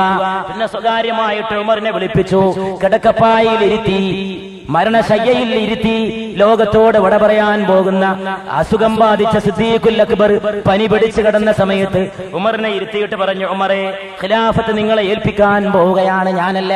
മുസ്ലിം സമുദായം സൂക്ഷിക്കണം ഉമറെ നീതി പാലിക്കണം ഉമറെ പടച്ചവനെ മറക്കരുത് ഉമറെ അള്ളാനെ മറന്ന് പ്രവർത്തിക്കരുത് ഉമറെ. ഈ ജനതയുടെ നേതൃത്വം നിന്റെ കരങ്ങളിലാണ് ഉമറെ. സദാ പടച്ചവനെ ഓർത്തുകൊണ്ട് ജീവിക്കണം ഉമറെ. ഭരിക്കുമ്പോൾ ശ്രദ്ധിക്കണം ഉമറെ. കട്ടി വന്നു പോകരുത് ഉമറെ. പരു പരുക്കനാകരുത് ഉമറെ. സ്വഭാവങ്ങൾ ഓരോന്ന് ഉപദേശിച്ചു കൊടുത്തുകൊണ്ട് ഉമർ നീ അള്ളാഹു അനുവിനെ യാത്രയാക്കി. അപ്പൊ അവിടെ ഇല്ല മകൻ? ഇനി ഉമർ നീ പോവാണ്. കൊല ചെയ്യപ്പെട്ടു. നിസ്കരിക്കുമ്പോ കത്തിയോണ്ട് കുത്തിയതാണ് ഉമർ ഫാറൂഖ് റളിയല്ലാഹുവിനെ ആ ശരീരം കൊടുത്തിട്ട് വീട്ടിൽ കിടത്തിയ സഹാബികൾ. ഫാത്താൻ പോവാൻ ഉറപ്പായി. ഉടനെ ഈ പ്രശ്നം ചർച്ചക്ക് വന്നു. ആരാ അടുത്ത ആൾ? ഖലീഫ ആരാണ്? അപ്പൊ ഉമർലി അള്ളാഹു എന്ന് പറഞ്ഞു എത്ര നല്ല തെരഞ്ഞെടുപ്പിന്റെ രീതിയാ. ആറാൾ ലിസ്റ്റ് കൊടുത്തു. ആറാൾ ലിസ്റ്റ്. ആറാൾ ലിസ്റ്റ്. ആ കാലഘട്ടത്തിലെ ഏറ്റവും വലിയ പ്രഗത്ഭന്മാർ Abu Ubaidatul Jarrah Abdurrahman bin Auf Saad bin Abi Waqqas Talha Zubair തുടങ്ങിയ എല്ലാവരുടെയും ലിസ്റ്റ് കൊടുത്തു. എന്നിട്ട് അപ്പോഴും ഒരാൾ പോയി ചോദിച്ചു അല്ല നമ്മുടെ മകൻ അബ്ദുല്ലാഹിബിൻ ഉമർ ചരിത്രത്തിൽ പറയുന്നു ചൊക്കെ ചർച്ചക്ക് വന്നതാണ്. വരാതിരുന്നൊന്നുമല്ല. ആൾക്കാർക്ക് തിരിയാതെ പോയെന്നല്ല മക്കൾ ജീവിച്ചിരിപ്പുണ്ട് എന്നുള്ള കേസ്. നല്ലോണം തിരിഞ്ഞിരുന്ന് പോയിട്ട് പറഞ്ഞു എന്ന് പറഞ്ഞാ പിന്നെ എന്തിനാ രണ്ടാളോടും പറയും അബൂബക്കർ സിദ്ദീഖിനോട് പോയിട്ട് പറഞ്ഞു മകനുണ്ടേ ആ വർത്താനം പറയണ്ടെന്ന് അവിടെ അവസാനിപ്പിച്ചു. ഖത്താബ് അടുക്ക പോയിട്ട് പറഞ്ഞു മകൻ ആരാ മകൻ? ഞാൻ പറയാതെ ഇവിടെ ഇരിക്കുന്ന മുസ്ലിം സഹോദരങ്ങൾക്ക് അറിയാം അബ്ദുല്ലാഹിബിൻ ഉമർ റളിയല്ലാഹു അൻഹു. ആ മകൻ വഴിയാണ് ഉമർ ഇബ്നുൽ ഖത്താബ് റളിയല്ലാഹു അൻഹുവിന്റെ വംശപരമ്പര അല്ലാഹു ഈ ലോകത്ത് കാത്തു സൂക്ഷിച്ചത് ഇന്നുകൊണ്ട് ഉമർ റളിയല്ലാഹു അള്ളാഹുവിന്റെ വംശപരമ്പര ഈ ലോകത്ത് ജീവിച്ചിരിക്കുന്നു. ആ വംശ പരമ്പരയിലാണ് നമ്മുടെ മസ്ജിദിന്റെ നാമകരണം ചെയ്ത മുജദ്ദിദ് അൽ ഫഥാനി ഷെയ്ഖ് അഹമ്മദ് സർഹിന്ദി റളിയല്ലാഹു തആല അൻഹു ജനിച്ചത് ഫാറൂഖിയൻ രക്തത്തിൽ. അവരുടെ മക്ബറ പഞ്ചാബിലെ സർഹിന്ദിലാണ് ഈ വിനീതൻ അവിടെ പോയി ഒരു ഫാത്തിഹ ഓതിയതിന്റെ സൗഭാഗ്യം സൗഭാഗ്യമുണ്ടായത് ഈ അവസരത്തിൽ ഓർക്കുന്നു. അള്ളാഹു സുബ്ഹാനഹു വ തആല ഉമർ റളിയല്ലാഹു അൻഹുവിന്റെ കുടുംബം കാത്തു സൂക്ഷിച്ചത് ഈ അബ്ദുല്ലാഹിബ്ൻ ഉമർ വഴിയാണ്. അവരുടെ കുടുംബക്കാർ ചിലർ ഡൽഹിയിൽ ഇപ്പോഴും ജീവിച്ചിരിക്കുന്നുണ്ട്. വളരെ വലിയ ദീനിയായ ജീവിതം അവർ കൊണ്ടാടുന്നു. ഉമർദി സാക്ഷാൽ മക്കൾ ഉമർ അള്ളാഹുവിന്റെ നാൽപ്പത്തൊന്നാമത്തെ മകനെ നേരിട്ട് കണ്ടത് ഞാൻ ഈ അവസരത്തിൽ ഓർക്കുന്നു. രണ്ട് മൂന്ന് മാസം നമ്മുടെ ഈ സദസ്സിലേക്ക് ഞാൻ അദ്ദേഹത്തെ ക്ഷണിച്ചിരുന്നു. റമദാൻ മാസമായതുകൊണ്ട് വരാനുള്ള ബുദ്ധിമുട്ട് പറഞ്ഞു. റമദാൻ കഴിഞ്ഞൊരു അവസരമാണെങ്കിൽ വരാന്ന് പറഞ്ഞു. നല്ലൊരു ചെറുപ്പക്കാരൻ. മഷായിഹന്മാരുടെ കുടുംബം പണ്ഡിതന്മാരുടെ കുടുംബം. ഉമർ ആ കുടുംബത്തെ അള്ളാഹു കാത്തു സൂക്ഷിച്ചത് ഈ അബ്ദുല്ലാഹിബിൻ ഉമർ അള്ളാഹു എന്ന ആ സന്താനം വഴിയാണ്. ആ അബ്ദുള്ള എന്താ ഖലീഫയാക്കിയാൽ? ചോദിച്ചവന്റെ മുഖത്തേക്ക് രൂക്ഷമായിട്ട് ഉമർ ഫാറൂഖ് നോക്കിയതാണ്. നിർത്ത്. എന്നോട് പറഞ്ഞ ആ വർത്താനിന് വേറെ ആളുടെ മിണ്ടി പോകും ആരാക്കിയാലും ഈ ആറാളെന്ന് ഏതാളിയാക്കാം. അബ്ദുല്ലാഹിബിൻ ഉമറിനെ ആക്കി പോകരുത് എന്ന് ഞാൻ വസിയത്ത് ചെയ്യുന്നു എന്ന് സയ്യിദുനാ ഉമർ ഇബ്നുൽ ഖത്താബ് റളിയല്ലാഹു തആല ആലോചിച്ച് നോക്കണം. അവിടെ ആ ഏർപ്പാട് ഉസ്മാൻ ഇബ്നു അഫ്ഫാൻ റളിയല്ലാഹു അൻഹു. അവസാനം ക്ഷമിക്കണം ഞാൻ നേരത്തെ പറഞ്ഞ ആറാളിൽ ഒരാളെ വിട്ടുപോയിരുന്നു. ഉമർ റളിയല്ലാഹു നിർദ്ദേശ ആറാൾ. അബൂ ഉബൈദ അബ്ദുറഹ്മാൻ ഇബ്നു ഔഫ്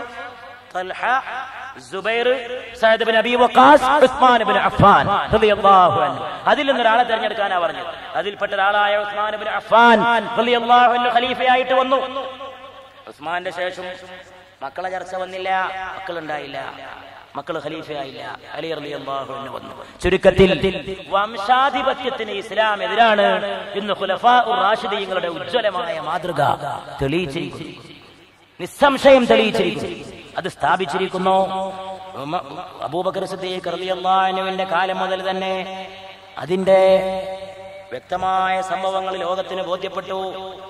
എത്രത്തോളം എന്ന് പറഞ്ഞാൽ ആധിപത്യത്തിന്റെ സ്ഥിതി കേൾക്കണം ഫാത്തിമ ബീബി അബൂബക്കർ സിദ്ദീഖ് തമ്മിലുണ്ടായ ഒരു സംഭാഷണം ഹദീസ് ഗ്രന്ഥങ്ങളിലൊക്കെ ഉണ്ട് ചരിത്ര ഗ്രന്ഥങ്ങളിലൊക്കെ ഉണ്ട്. ഫതക് എന്ന് പറയുന്ന ഒരു സ്വത്ത് റസൂലുള്ളാഹിന്റെ പേരിലുണ്ടായിരുന്ന ഒരു സ്വത്തായിരുന്നു. വഫാത്തായപ്പോ ഫാത്തിമ ബീവി ഖലീഫയായ അബൂബക്കർ സിദ്ദീഖിനെ റളിയല്ലാഹു അൻഹുവിനെ സമീപിച്ചുകൊണ്ട് ചോദിച്ചു ബാപ്പാന്റെ ആ സ്വത്ത്? അള്ളാഹുവിന്റെ റസൂലായ എന്റെ പിതാവ് വഫാത്തായി പോയി. അപ്പൊ അത് എനിക്ക് തരണം അമീറുൽ മുഅ്മിനീൻ എന്ന് പറഞ്ഞു. അബൂബക്കർ സിദ്ദീഖ് റളിയല്ലാഹു പറഞ്ഞു മോളെ ഫാത്തിമ എന്റെ ബാപ്പാന്റെ ദീനന്റെ കാവൽക്കാരനായിട്ട് എളിയ സേവനം ചെയ്യുന്നവനാണ് ഞാൻ. ബാപ്പ പറയുന്നതായിട്ട് ഞാൻ കേട്ടിട്ടുണ്ട്. ഞങ്ങൾ അമ്പിയാക്കൾക്ക് അവകാശികളില്ല. ഞങ്ങൾ അമ്പിയാക്കൾക്ക് അവകാശികളില്ല. അള്ളാഹുവിന്റെ പ്രവാചകന്മാർക്ക് ഭൂമിയിൽ കുടുംബത്തിന്റെ അനന്തരാവകാശമില്ല. അതുകൊണ്ട് സ്വത്തിനും അവകാശമില്ല. അത് ബൈത്തുൽ മാലിന്റെ പൊതു സ്വത്താണ് സദക്കയുടെ സ്വത്താണ്. അതൊരിക്കലും തന്നെ സാധാരണ ആൾ മരിച്ചാൽ മക്കൾക്ക് സ്വത്ത് ഓഹരി വെക്കുന്ന മാതിരി അമ്പിയാക്കൾ വഫാത്തായ ആളവിടെ സ്വത്ത് ഓഹരി വെക്കുന്ന പരിപാടിയില്ല. എന്ന് പിതാവ് പറയുന്നത് ഞാൻ കേട്ടിട്ടുണ്ട് എന്ന് അക്ബർ റളിയല്ലാഹു അൻഹു വിശദീകരിച്ചു കൊടുക്കേണ്ട താമസം ഫാത്തിമ ബീബി റളിയല്ലാഹു തആല അൻഹ തൃപ്തിപ്പെട്ടുകൊണ്ട് ഈ ലോകത്ത് ആ മറുപടി കേട്ടുകൊണ്ട് തിരിച്ചുപോയി. അബൂബക്കർ സിദ്ദീഖ് റളിയല്ലാഹു അൻഹുവിന്റെ കുടുംബം. എന്ത് കുടുംബമായിരുന്നു? അനുഗ്രഹിക്കപ്പെട്ട കുടുംബം. എല്ലാ അർത്ഥത്തിലും അനുഗ്രഹിക്കപ്പെട്ട കുടുംബം. ആയിഷ ബീവി എന്ന അലൈഹി വസല്ലമയുടെ ഒറ്റ പത്നിയുടെ കാരണത്താൽ തന്നെ സിദ്ദീഖുൽ അക്ബറിന്റെ കുടുംബം ഏറ്റവും വലിയ സൗഭാഗ്യത്തിലെത്തി അള്ളാഹുവിന്റെ റസൂലിനെ അവിടുത്തെ പത്നിമാരിൽ അങ്ങേയറ്റം പ്രിയപ്പെട്ട പട്ടിയായിരുന്നു സയ്യിദത്തുന ആയിഷത്തു സിദ്ദീഖ റളിയല്ലാഹു തആല അൻഹ. ആയിഷ ബീവിയോട് ബന്ധപ്പെട്ട ആ സംഭവങ്ങൾ. ആയിഷാ ബീവിയെ അബൂബക്കർ എനിക്ക് കെട്ടിച്ചെന്നു എന്നുള്ളത് റസൂലുള്ളാഹി സ്വല്ലല്ലാഹി അലൈഹി വസല്ലം വളരെ അഭിമാനത്തോടല്ലോ പറഞ്ഞത്. ഇസ്ലാമിലെ പല വിധിവിലക്കുകൾ പോലും ഈ കുടുംബത്തോട് ബന്ധപ്പെട്ടിട്ടുണ്ട്. ആയിഷാ ബീവിയുടെ മാല ഒരു ദിവസം കളഞ്ഞുപോയി. മാല കളഞ്ഞു പോയിട്ട് ആശാ ബീവി ആ വിവരം വന്നിട്ട് റസൂലുള്ളാഹി സ്വല്ലല്ലാഹു അലൈഹി വസല്ലമയുടെ അടുക്കൽ പറഞ്ഞു. ഒരു യുദ്ധത്തിന് സഹാബികളും റസൂലും കൂടി പോയ സന്ദർഭമാണ്. മാല കളഞ്ഞു പോയി. മാല തരാൻ വേണ്ടിയിട്ട് ഏർപ്പാടാക്കി എല്ലാവരും മാല തിരഞ്ഞു. മാല തിരഞ്ഞ് മാല തിരഞ്ഞ് മാലിട്ട് കിട്ടിയില്ല. നേരം വൈകുന്നേരമായി. വൈകുന്നേരമായാലും എന്താ പ്രശ്നം? പ്രശ്നമൊന്നുമില്ല. തിരിച്ചെത്താൻ വൈകി. കൂടെ ഉണ്ടായിരുന്ന കുടിവെള്ളം മുഴുവൻ കുടിച്ചു തീർന്ന് മരുഭൂമിയിൽ കുടിക്കാൻ വെള്ളമില്ലാതെ ഈ സംഘം ഒന്നടങ്കം അവിടെ പെട്ടുപോയി. അബൂബക്കർ സിദ്ദീഖ് റളിയല്ലാഹു അൻഹു വല്ലാതെ വിഷമിച്ചു.